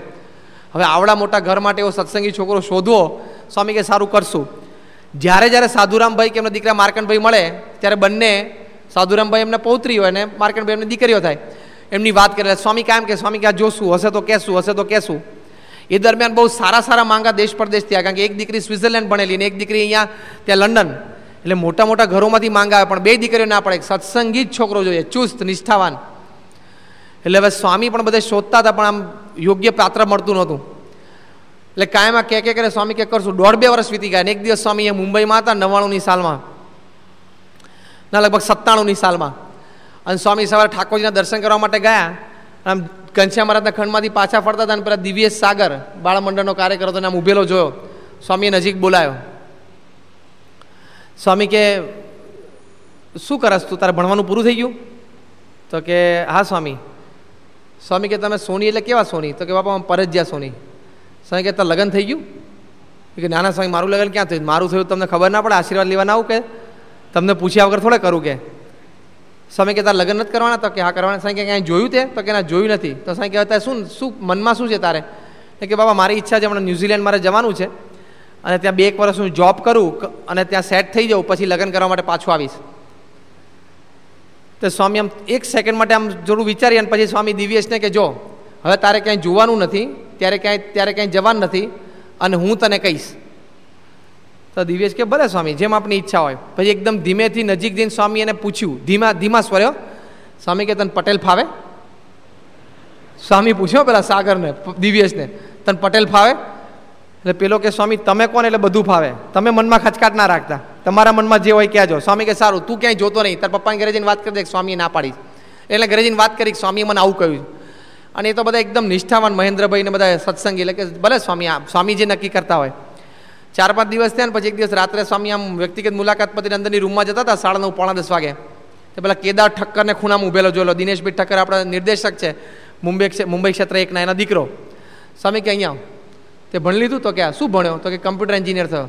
સ્વામી કહેવાય શું કરવાનું? તો કે બાપા અમેરિકાના મારે વિઝા તૈયાર થઈ ગયા છે એચ વન અને મને ત્યાં કંપનીએ સ્પોન્સર કર્યો છે અને હું હમણાં એક મહિના પછી અમેરિકા જાઉં છું. સ્વામી કે તારું લગ્ન થઈ ગયું? તો કે ના. સ્વામી કે તે જોઈ રાખ્યું કે નક્કી થયું છે સગાઈ કે ના બાપા, કંઈ નક્કી નથી થયું? સ્વામી કે બસ તો હું નક્કી કરીશ, તું ક્યાંય જોતો નહીં. તો કે સારું એટલે બે બુકિંગ પૂરા કરી નાખ્યા સ્વામી તરત. અને પછી નવ્વાણુંની સાલમાં આપણે અહીંયા ભરૂચમાં આપણે જે પ્રતિષ્ઠા થઈ બે હજાર એકની સાલમાં મને લાગે છે.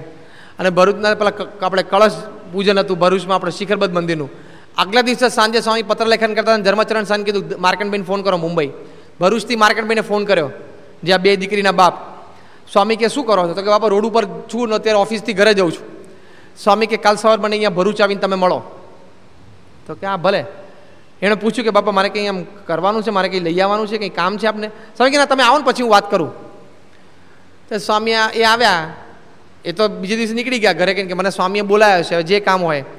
અને પહોંચ્યા. આ બાજુ સ્વામી દિનેશભાઈને ફોન કર્યો. દિવ્યેશને ફોન કર્યો. હવે દિવ્યેશ હતો, એના પપ્પા મહેન્દ્રભાઈ બાર ગામ ટૂર ઉપર હતા. દિનેશભાઈ હાજર હતા અને દીકરો કેદાર હતો એ હાજર નહોતો.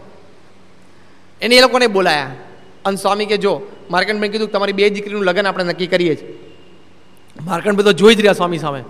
કે ભલે સ્વામી, એ કીધું, સ્વામી કે સ્વામી કે બાબા કીધું તો હું બધા કુટુંબને સાથે લઈ આવત. સ્વામી કે એની કંઈ કોઈ જરૂર નથી, આપણે તમે જોઈ લો ને કે.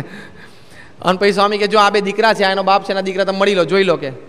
માર્કંડભાઈ કે સ્વામી, બધું જોયેલું જ છે. આપ જો નક્કી કરતા તો અમે રાજી જ છીએ. સ્વામી કે એમ નહીં તમે ઘરે ફોન કરીને પૂછી જુઓ. હવે એક તો બોલાયા નહીં હવે ઘરે ફોન કરીને હું પૂછવાનું?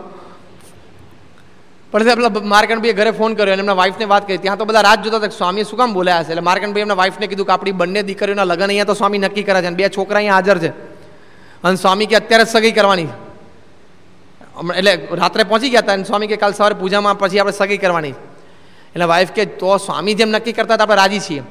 એટલે એમણે મોબાઈલ ચાલુ રાખીને અંદર પાછા સ્વામી પાસે આવે સ્વામી, ઘરેથી રાજી છે. સ્વામી કે, બે દીકરીઓને પૂછો. પાછા બહાર ગયા પાછા બે દીકરી સાથે વાત કરી સ્વામી, તમારું લગ્ન અહીંયા નક્કી કરાય. બંને દીકરીઓએ જેમ જીણાભાઈની દીકરીએ મહારાજને કેવડાયું, એમ પ્રમુખ સ્વામી મહારાજને કેવડાવ્યું, એમના પપ્પાને વાત કરી માર્કંડભાઈને કે, જેમ સ્વામી રાજીઓને તમે હા પાડ દો. આ નાની વાત નથી, આ સાધુ થવા જેવી વાત થઈ ગઈ. આ સાધુ થવા જેવી વાત થઈ ગઈ. અને પછી સ્વામીને હા પડી, સ્વામી, બહુ જ રાજી થયા. અને સામે બધા રાજી હતા. અને સ્વામી કે પેલા પરમાનંદભાઈ આવ્યા હતા ઉમરેઠવાળા કળશ પૂજનની વિધિ કરવા માટે. એને બધ, એને કંઈ ના નતું રાખ્યું, એમની પાસે ખાનગી રાખેલું સ્વામી. બીજે દિવસે કળશ પૂજનનું બધું ચાંદન વિધિ પતીને અને ઘનશ્યામભાઈ આમ ચોપડી બંધ કરતા હતા, મરે કરીને એમની સ્ટાઇલ પ્રમાણે. તેમ બંધ કર્યું. સ્વામી કે ઊભા રહો, આપણે છે ને વેવિશાળ કરાવવાના છે. તો ઘનશ્યામભાઈ કે કોના? સ્વામી કે જો આ દીકરાનો બાપ ઊભો છે કે એનો દીકરો નથી, આ એક દીકરો ઊભો છે, એનો બાપ નથી, અને આ બે દીકરીનો બાપ ઊભો છે તમે વિધિ ચાલુ કરાવો. એટલે પણ આમાં વિધિ થાય? અડધી પાર્ટી ગેરહાજર હોય ને પચાસ ટકા? સ્વામી કે વિધિ ચાલુ કરવા ઊભો છું. એમ કે પોતે ઊભા રહ્યા વિધિમાં. હવે જેટલા ગેરહાજર હતા ને એ બધાનો રોલ પોતે ભજવતા હતા. ગુરુ ગણો કે બાપ ગણો કે મા ગણો કે જે ગણો એ ગોર ગણો કે જે ગણો એ પોતે વન મેન શો પોતે હાથમાં જળ લીધું ને સંકલ્પ કરતા હતા અને સ્ટેજની નીચે ઊભા ઊભા બધાને એમ થાય કે હવે એક વિધિ તો પતી ગઈ જય બોલે કે બીજી વિધિ શરૂ શેની થઈ ગયા છે? અને સ્વામી વિધિ ચાલુ કરાય પછી બધી વિધિ બોલતા હતા. વચ્ચે વચ્ચે સ્વામી કંઈ કામ હતું એટલે કોઈ સંતોને બીજી વાત કરતા હતા. અને એમાં વિધિ ચાલુ થઈને બધી આગળ વિધિ ચાલી. અને માર્કંડભાઈએ બે દીકરી વતી એનો બાપ હાજર. બે દીકરીની દીકરા આપજો ને આ બાજુ પેલા લોકો ગેરહાજર અડધા. અને બધા સંકલ્પ કરતા હતા અને પછી એકદમ વિધિ અટકી. એટલે સ્વામીનું એકદમ આમ ધ્યાન ગયું. સ્વામી કે કેમ બધું અટક્યું? એટલે માર્કંડભાઈ કે સ્વામી, પરમાનંદભાઈ એટલે જે વિધિ કરાવે છે એમ કહે છે કે નામ બોલો કે સામ સામે લગ્ન થાય કોણ કોના લગ્ન થાય એ પ્રમાણે. તો સ્વામી કે એમાં શું, બોલી નાખો નામ? આ બે આપણે તમને ઓળખો તો છો, બે હરિભક્તો બે દીકરા કે. ત્યારે માર્કંડભાઈએ બાપાને પ્રશ્ન પૂછ્યો. સાંભળજો, હા. હરિભક્તોને કેટલો વિશ્વાસ હોય છે મારા સ્વામીમાં કે બાપા, હું નામ તો બોલું કે બે દીકરીના લગ્ન, આ બે દીકરાઓ સાથે, પણ કોના કોની સાથે તો કહો એ ગોઠવણ કોના, આટલી બધી વિધિ ચાલુ હતી ત્યાં સુધી કોના કોની સાથે એ તો હજી આમ બધું સ્વામીના મનમાં મોટા પુરુષને અંતર્યામી પણ જાણતા હશે. પણ બેમાંથી એક કુટુંબે પૂછ્યું નથી કે આ બેની સામે બે ગોઠવો છો, પણ એમાં ઇન્ડિવિજ્યુઅલ કોણ કોની સાથે? એ તો નક્કી કરો. કેટલો વિશ્વાસ બંને કુટુંબોને. જેમ સ્વામી કરતો એમ બધું સારું જ છે. જો આ મોટા પુરુષમાં આટલો વિશ્વાસ આવે ને, આવા ભક્ત માટે ભગવાન અને સંત પોતાના અંતરનો રાજીપો રેડી દેતા હોય. આવો વિશ્વાસ એમનામાં આવે ને, ત્યારે આપણું ભક્તપણું સાચું. અને પછી સ્વામી બાપા કે, હા, તો શું છે? તો કે, બાપા, કોણ કોની સાથે? એ પૂછે છે. સ્વામી ક્યાં તો કહી દો ને. માર્કંડભાઈ કે મારે હું કેવી રીતે કહી શકું? મારે ક્યાં નિર્ણય લેવાનો છે કોણ કોની સાથે લગ્ન કરે? તમે કીધું, બે દીકરીઓને લગ્ન આની સાથે. એટલે મેં તો કર્યું છે. તો સ્વામી એકદમ આમ બેની સામું જો કે, જોઈને કે, સ્વામી કે, મોટી આંજોડ કરે, નાની આંજોડ કરે. ચલો, ચાલુ કરો વિધિ કે. લે, કેવો નિર્ણય કે? હા, સીધો. મોટી આંજોડ કરે, નાની આંજોડ કરે. ચલો, વિધિ ચાલુ કે. કેટલો વિશ્વાસ મોટા પુરુષમાં. બધા જાણે આંતરયામી, પણ આંતરયામી છે, મોટા પુરુષ ભગવાનના અખંડ ધારક છે. આપણું ભૂત ભવિષ્ય બધું એ જાણે છે. વિશ્વાસ મૂકી જ દેવાનો. આ તમારા ટંડેલ ભાઈઓ અહીંથી વિશ્વાસ નાખીને દરિયામાં હોડું નાખીને છેક કરાચીને દુબઈ સુધી પહોંચી જાય છે. એક સામાન્ય મોટર બોટના આધારે એન્જિન નાખીને બે પીપળા ડીઝલ લઈને આખું આમ જાન જોખમમાં મૂકી જાય છે ટંડેલો બધા, આમ, દરિયામાં. તો આપણે આપણા ગુરુહરિ પ્રમુખ સ્વામી મહારાજ માટે આપણે સેજ કોઈ પ્રસંગે કેમ નથી મૂકી શકતા? એ આપણો દેહભાવ છે. એ મૂકીએ ત્યારે આપણું ભક્તપણું સાચું ને પછી એમના ભક્તવત્સલપણાનો અનુભવ આપણને થાય કે એમનો પ્રેમ કેવો છે અને આપણું જીવન એ કેવું ગોઠવે છે. પછી બધી વિધિ પૂરી કરાવડાઈ. પછી એટલા રાજી થયા અને જેમ શ્રીજી મહારાજે બંને કુટુંબને આશીર્વાદ આપેલા. એમ સ્વામી આશીર્વાદ આપ્યા. સ્વામી કે બે જણા ખૂબ સુખી થશે. આ લોકનું પરલોકનું બે કામ આજે પૂરું થઈ ગયું. મહારાજને જોગી મહારાજ અંતરથી રાજી થઈ ગયા છે અને બેયની પેઢીમાં પૃથ્વીનું તળ રહેશે, ત્યાં સુધી સત્સંગ રહેશે. જેમ મહારાજ આશીર્વાદ આપ્યા, તેમ સ્વામી આશીર્વાદ આપ્યા. પછી પાછો નાસ્તો કરવા બેઠા ત્યારે બધાને બેસાડ્યા. પોતાના થાળમાંથી બંને કુટુંબને આશીર્વાદ આપ્યા, પ્રસાદ આપ્યો. અને પછી પાછા મળી અને પાછા નીકળતા હતા. તે બંને કુટુંબ આમ નીકળતા હતા. માર્કંડભાઈ, દિનેશભાઈ હતા. પછી આ બાજુ પેલો દિવ્યેશ હતો, એ બધા નીકળતા હતા. તો સ્વામી આમ પાછળ બેઠા બેઠા આમ જોઈ રહ્યા પછી થોડુંક હસ્યા. અને એ જ વખતે આમ દિવ્યેશની નજર આમ પાછળ પડીને સ્વામીને હસતા જોયા. એટલે ઊભા રહી ગયા. પાછા ત્રણેય જેન્ટ્સ બાપા પાસે આવ્યા. અને બાપાને કે, બાપા, તમે કેમ હસતા હતા? સ્વામી કે, કંઈ નહીં. બાપા કે, ના, તમે હસતા હતા. સ્વામી કે, ના ના, એવું કંઈ નહીં. દિવ્યેશ કે, બાપા, મેં તમને હસતા જોયા ને, મેં પાછળ જોયું ને તમે કેમ હસતા હતા? સ્વામી કે, આ તો મારે એક વાત કહેવાની રહી ગઈ, એટલે હું, મને મનમાં એમ હતું કે દિવેશ કે શું વાત રહી ગઈ? દિનેશભાઈએ પૂછ્યું, શું વાત રહી ગઈ? સામે કે પાછા ત્યાં તમે મુંબઈ જાઓ તો પાછા એકબીજા મળી લેજો, કોણ કોની જોડે છે પાછું જોઈ લેજો કે છે. હવે આ તો થાય કે પાછા મુંબઈ જઈને આમાં મેં મળી લેજો, કોણ કોની જોડે છે? બે બે ચાલે કે. મળી લેજો સામ સામે કહે છે. પછી ખૂબ રાજી થઈને આશીર્વાદ આપ્યા અને પાછું પ્રસાદનું બોક્સ આપીને બધાને વિદાય કર્યા. આજે બંને કપલ સુખી છે. કેદાર ઠક્કર ત્યાં હ્યુસ્ટનમાં છે. બંને પતિ પત્ની હ્યુસ્ટનમાં પ્રતિષ્ઠા થઈ, બંને જણા જોબ કરે છે, સારામાં સારી નોકરી કરે છે હ્યુસ્ટન અમેરિકામાં. બંને જણા કાર્યકર છે અને પ્રતિષ્ઠા વખતે છ મહિના રજા મૂકીને બંને જણાએ સવારે પાંચથી રાત્રે બાર વાગ્યા સુધી સેવા કરી. છે અને આ બાજુ દિવ્યેશ સાગર, અને એ બે જણા ત્યાં ન્યુઝીલેન્ડ છે, ઓકલેન્ડ મંદિર છે, આપણે ન્યુઝીલેન્ડમાં એની બાજુમાં જે લોકોનું ઘર છે. અને ફૂલ ટાઈમ બંને જણા જોબ તો કરે છે, બાકીનો બધો જ સમય સવારે બે કલાકને સાંજે ચાર કલાક મંદિરમાં આપે છે. અને બંને જણા શ્રદ્ધાથી બધી સેવા કરે છે, બે સુખી છે. બે કુટુંબો તમે પૂછો કે ઓહો, બાપાએ ખૂબ મહેર કરી દીધી. પણ જો આવી રીતે જેમ શ્રીજી મહારાજ હરિભક્તોના દરેક પ્રશ્નોમાં નાના મોટો રસ લઈને એને પ્રશ્નોનું સમાધાન કરી આપતા, એમ પ્રમુખ સ્વામી મહારાજ પણ આવા જે વિશ્વાસુ હરિભક્તો હોય, એના પ્રત્યે આવો ભાવ રાખી, લાગણીને પ્રેમ રાખી એના દરેક પ્રશ્નનું સમાધાન કરી આપે છે. તો જો મોટા પુરુષમાં આવો વિશ્વાસ હોય આવા ભક્ત આપણે થઈએ, ત્યારે એ પણ અંદરથી એમને ઉલટ આવી જાય અને મોટા પુરુષને એકવાર હૃદયમાંથી ઉલટ આવી જાય, આ લોકને પરલોક બધું ગોઠવી નાખે. એક દ્રષ્ટિ પડે ને, તમારું આ લોક પરલોક બધું ગોઠવાઈ જાય. પણ આપણે પછી એમાં કંગાલિયત કરીએ, જો વિશ્વાસપૂર્ણ ન મૂકીએ શ્રીજી મહારાજે કીધું છે કે તમારા આવકનો દશાંશ ધર્માદો કે વિશાંશ તમારે કાઢવો. તમે એમ કહો કે મારે તો માંડ માંડ ઘરનું પૂરું થાય છે અને બચત તો માંડ મહિને પાંચસો રૂપિયા હજાર રૂપિયાની રહે છે, એમાં ક્યાં દશાંશ વિશાંશ કાઢું? પણ તમને આ પ્રશ્ન થાય છે કે દશાંશ વિશાંશ હું ક્યાં કાઢું?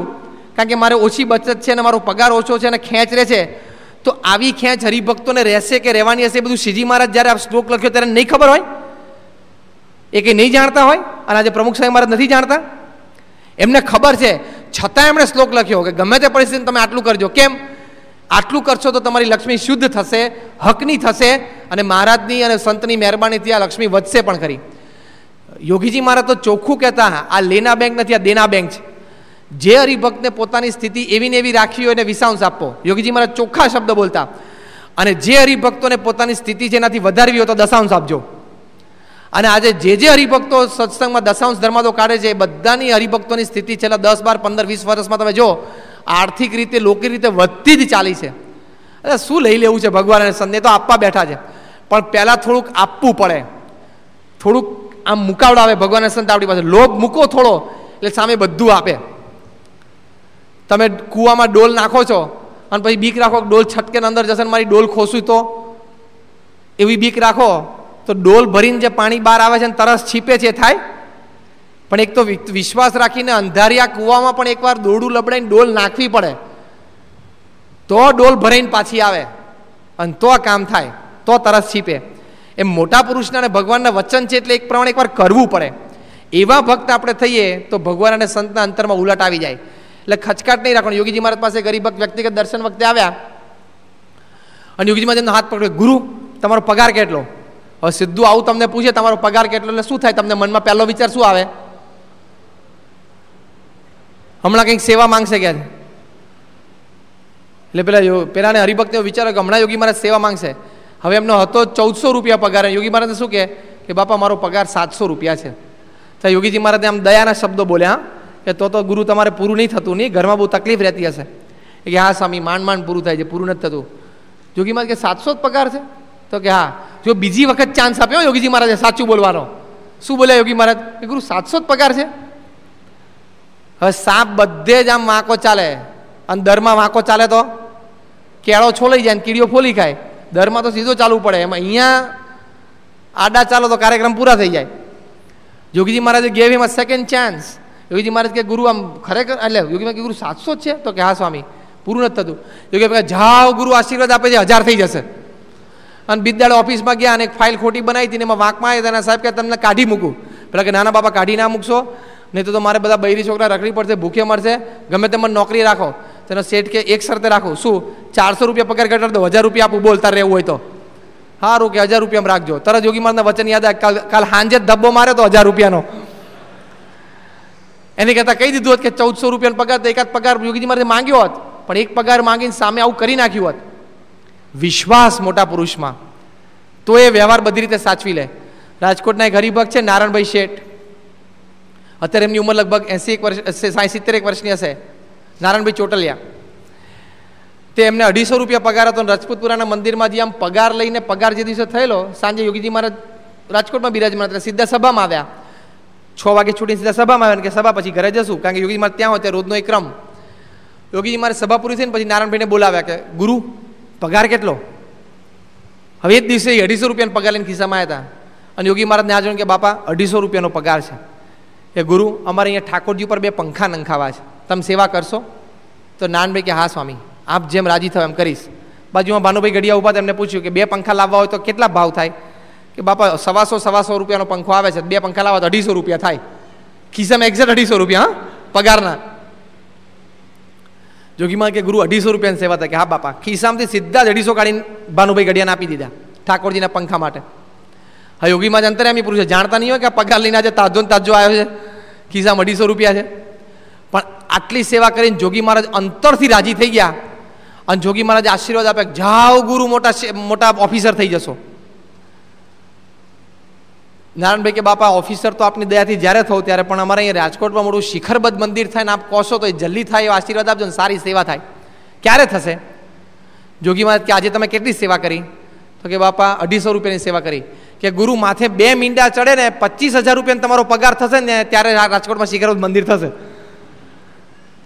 આ એ રિટાયર થયા ત્યારે એમનો પગાર પચીસ હજાર રૂપિયા હતો અને આજે સોળ હજાર રૂપિયાનું વ્યાજ આવે, એટલે પેન્શન આવે છે એમને.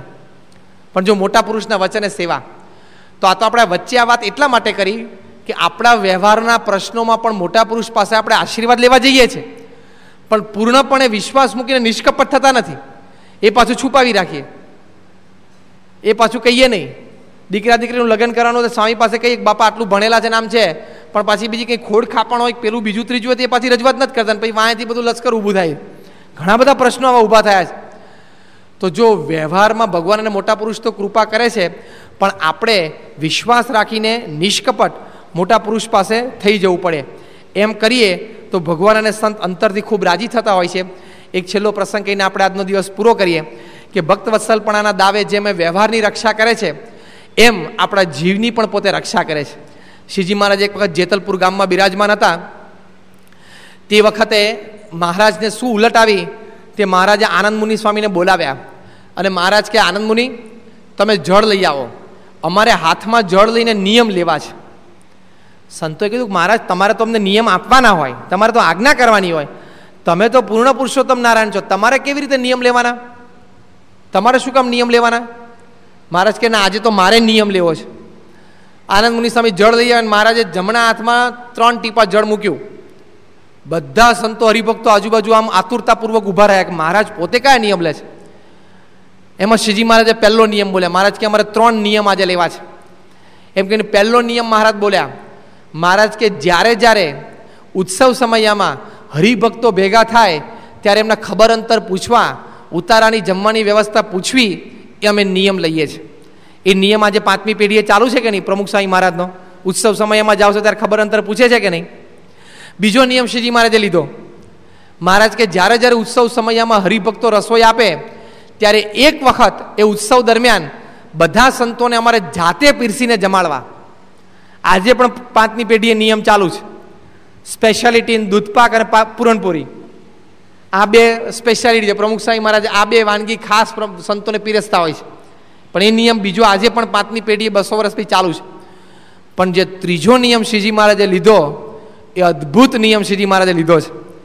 મહારાજ પોતે ત્રીજો નિયમ બોલ્યા કે અમે ત્રીજો નિયમ એ લઈએ છીએ કે અમારા આશ્રિત ભક્તો હોય, નાના, મોટા, ભાઈ, બાઈ, ગ્રહસ્થ, ત્યાગી, એ તમામ જેણે અમારું ભજન કર્યું હોય અને અમારા આશ્રિત હોય અને અમારા સ્વરૂપનો નિશ્ચય કર્યો હોય, એને અંત સમયે દર્શન આપીને ધામમાં લઈ જવા એ અમે ત્રીજો નિયમ લઈએ છીએ.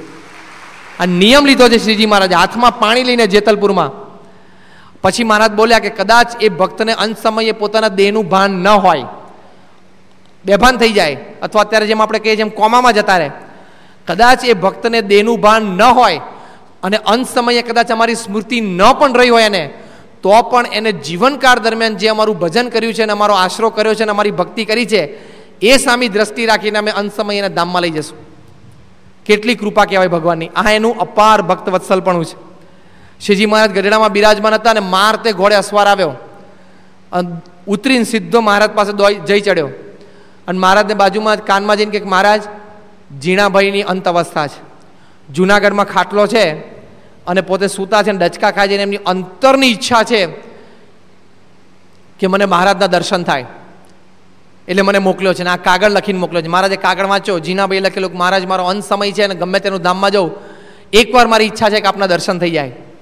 કાગળ વાંચ્યો ને મહારાજના બંને આંખમાં આંસુ આવી ગયા. મહારાજ કે જીણાભાઈ જેવા ભક્ત અમને યાદ કરે ને અમે ન જઈએ?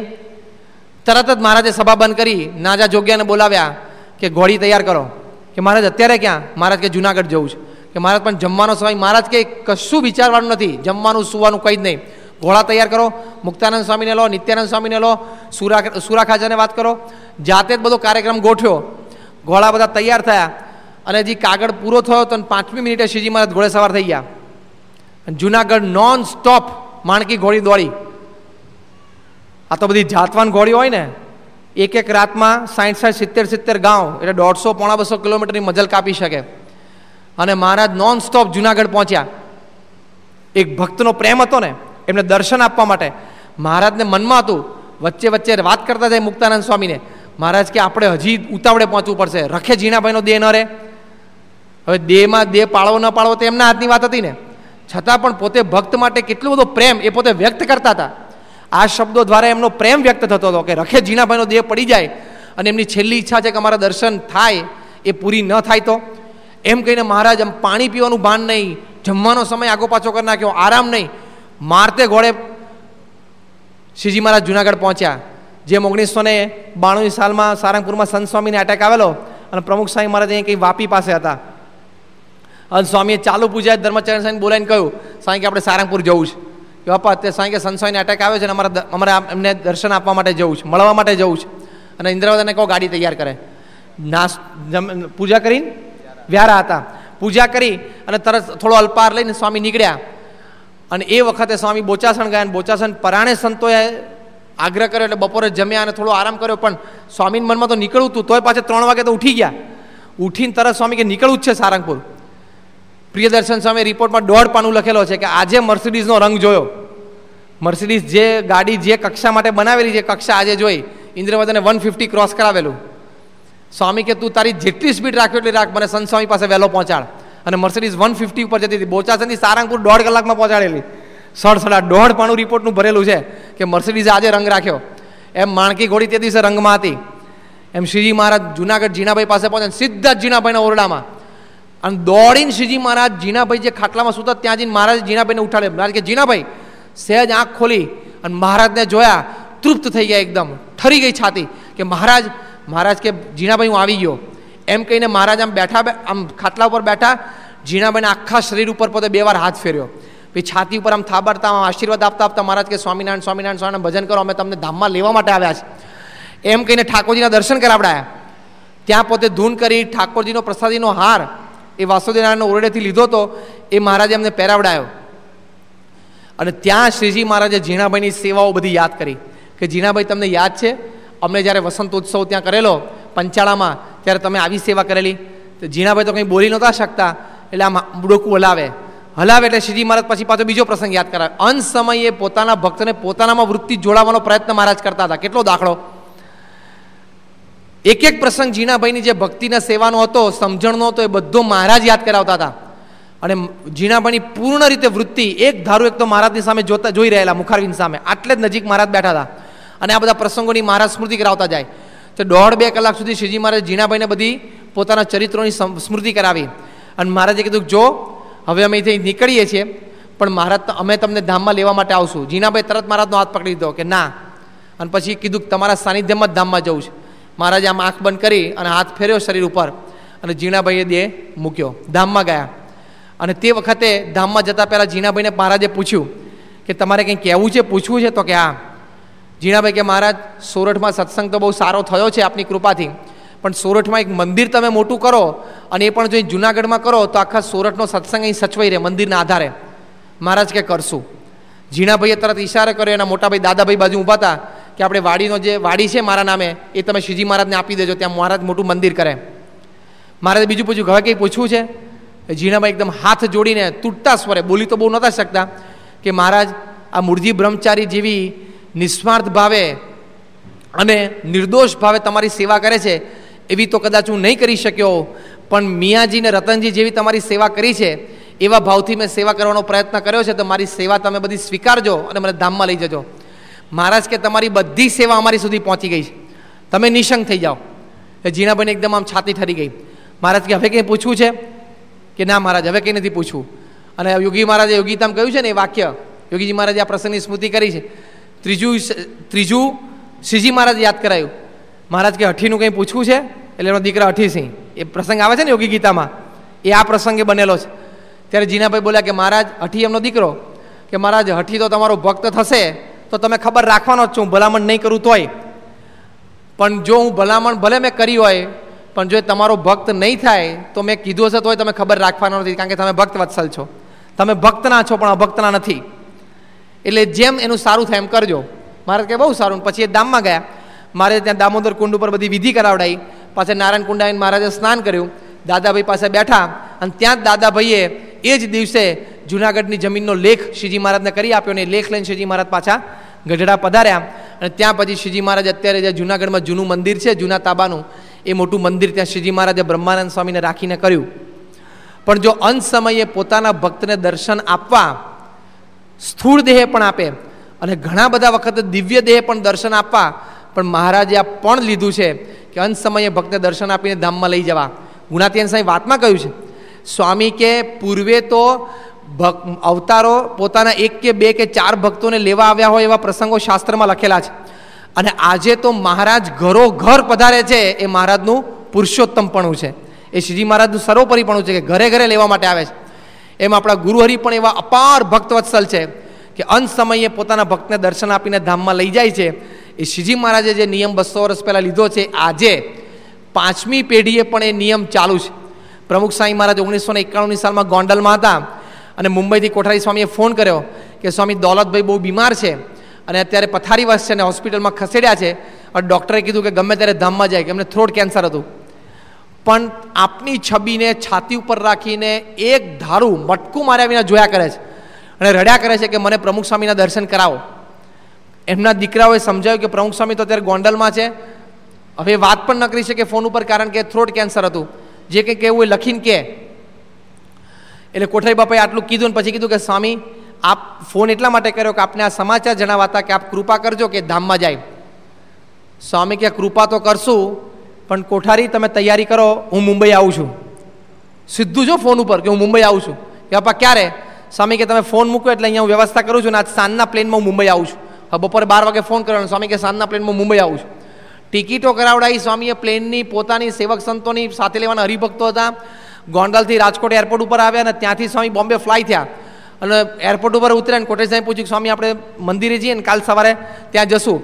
સ્વામી કે કાલ સવારે મારે અત્યારે દોલતબીન મળવા જવું છે. સીધા જ એરપોર્ટ ઉપરથી પ્રમુખ સાહેબ મહારાજ જસલોક હોસ્પિટલ ગયા. અને ત્યાં સાતમે માળે દોલતભાઈ ત્યાં આઈસીયુમાં હતા, સીધા જ પહોંચ્યા સ્વામી. અને આમ જેમ શ્રીજી મહારાજ જીનાભાઈને ઓરડામાં પહોંચ્યા આમ દોડીને જીનાભાઈ પાસે પહોંચ્યા એમ પ્રમુખ સ્વામી મહારાજના ચહેરા ઉપર પણ આમ ઉમટ હતી કે પોતાના લાડીલા હરિભક્તને મળવાની. સ્વામીના ઉતાવળે પગલાં થવા માંડ્યા. અને સ્વામીએ નિર્ભય સ્વામીના હાથમાંથી ઠાકોરજી પોતે લઈ લીધા. અને જ જઈને દોલતભાઈના ખાટલા ઉપર બેસી ગયા, દોલતભાઈની બાજુમાં. અને ઠાકોરજી એમની છાતી ઉપર મૂક્યા. અને સ્વામીએ જીનાભાઈને આમ આમ સ્વામીએ દોલતભાઈને આમ જગાડ્યા. આંખ ખોલી હો સ્વામી, તમે? સ્વામી કે, તમને મળવા માટે હું આવ્યો છું. જો હરિકૃષ્ણ મહારાજને સાથે લાવ્યો છું. લો, એના દર્શન કરો. એમ કહીને જાતે હરિકૃષ્ણ મહારાજને ઊંચા કરીને દોલતભાઈને દર્શન કરાવડાયા. દોલતભાઈ તો એકદમ આમ આંખમાં આંસુ આવી ગયા આમ ગદગદ ભાવે ઠાકોરજીના દર્શન કરતા જાય અને પાછા ગુરુહરિના દર્શન, બે આમ સ્વામિનારાયણ બેના દર્શન કરતા જાય. કે બાપા તમે આમ લખ્યું એને સ્લેટમાં કે ક્યાંથી આવ્યા? સ્વામી કે અત્યારે ગોંડલથી આવ્યો, પણ આમ તો અક્ષરધામમાંથી આવ્યા છીએ. આમ તો હવે સ્વામી કેમ બોલ્યા? જ્યારે જ્યારે બાપા મુંબઈમાં હોય અને સવારે વોકિંગ કરવા માટે બહાર આવે, છ ને ચાલીસે ત્યારે દરવાજા પાસે દોલતભાઈ ઊભા રહેતા. એમને ટેવ હતી. અને જેવા બાપા બહાર નીકળે એટલે પહેલું વાક્ય આ બોલતા હતા કહો સાક્ષાત અક્ષરધામમાંથી પધાર્યા. સ્વામીએ એમની એ સેવાને ભાવ, એ ભક્તિને વાક્યો, એ શબ્દો યાદ રાખેલા. સ્વામી કે, આમ તો અમે ગોંડલથી આવ્યા છીએ. એટલે અત્યારે તો ગોંડલથી આવ્યા, પણ આમ તો અમે અક્ષરધામમાંથી આવ્યા છીએ. આટલું બોલ્યા અને દોલતભાઈ આમ આંખમાંથી આમ ચોધાર આંસુએ રડી પડ્યા કે, સ્વામી, હું કાયમ જે વાક્ય બોલતો તે વાક્યની સ્મૃતિ કરાવી. એ સ્વામી કે યાદ છે, અમે જ્યારે જ્યારે વોકિંગ કરવા માટે બહાર આવે ત્યારે તમે વાક્ય બોલતા, તો કે હા. જેમ જીણાભાઈએ જેમ જીણાભાઈને શ્રીજી મહારાજે બધા જ પોતાના ચરિત્રોની અને જીણાભાઈની ભક્તિ અને સેવાની સ્મૃતિ કરાવી, એમ પ્રમુખ સ્વામી મહારાજે પણ આ પ્રસંગ સહજ શરૂ કરી અને દોલતભાઈની બધી ભક્તિ, સેવા બધી જે યાદ કરાવી. અને બધી ખૂબ પછી ત્યાં સ્મૃતિ આપી, જેમ શ્રીજી મહારાજે શરીર ઉપર હાથ ફેરેલો જીણાભાઈને એમ આખા શરીર ઉપર બે વાર હાથ ફેર્યો સ્વામીએ દોલતભાઈને. અને છાતી ઉપર આમ આશીર્વાદ આપતા આપતા સ્વામી કે ભજન કરતા કરતા સ્વામી, સ્વામિનારાયણ સ્વામિનારાયણ સ્વામિનારાયણ ધૂન બોલતા બોલતા, સ્વામી કે હરિકૃષ્ણ મહારાજ સાક્ષાત આવ્યા છે. અમે પણ આવ્યા છીએ અને હવે તમને ધામમાં લઈ જવા છે. સ્વામી કે હરિકૃષ્ણ મહારાજ દર્શન કરો. જે વાઘા, કેટલું સરસ વાક્ય બાપા બોલ્યા. સ્વામી કે, જે વાઘા હરિકૃષ્ણ મહારાજ અત્યારે પહેર્યા છે, એ જ વાઘા પહેરીને તમને લેવા માટે આવશે. દોલતભાઈએ તરફ પ્રમુખ સાહેબ મહારાજનું ગાતર્યું પકડ્યું અને આમ આમ ખેંચ્યું. સ્વામી કે અમે આ જ વાઘા પહેરીને લેવા માટે આવશું. પોતાના ભક્ત માટે કેટલો બધો પ્રેમ.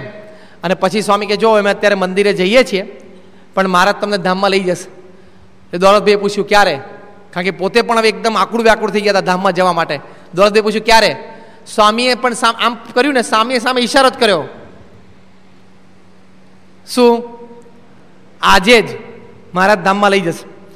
અને સ્વામી એ પછી, સ્વામી ત્યાં, અરે, ના, સ્વામી એવું બોલે, સ્વામી કે કાલે એકાદશી છે ને? બીજી દિવસે એકાદશી હતી. કે સ્વામી કે કાલે એકાદશીએ મારા ધામમાં લઈ જશે.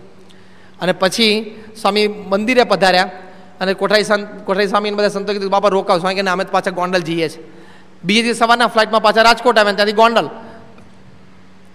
એરપોર્ટ પરથી સીધા ગોંડલ મંદિરે જ ગયા.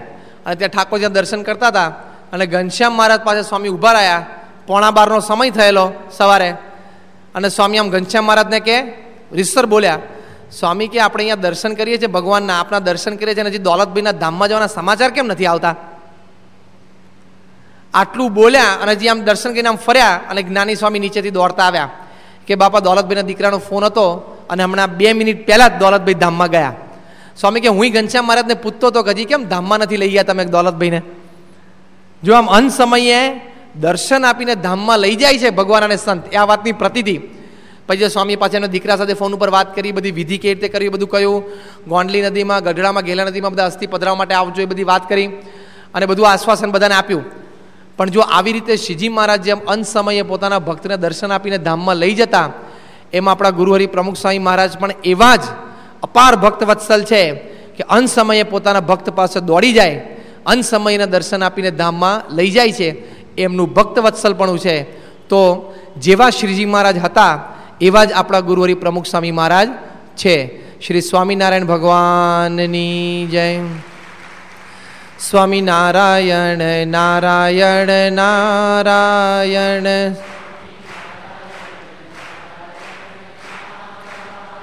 સ્વામી નારાયણ નારાયણ નારાયણ.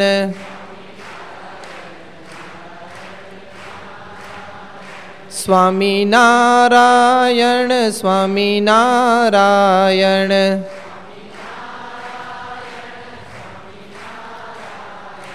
સ્વામી નારાયણ સ્વામી નારાયણ.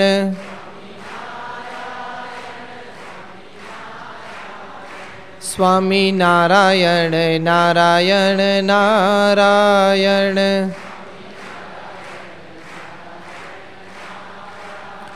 સ્વામી નારાયણ નારાયણ નારાયણ.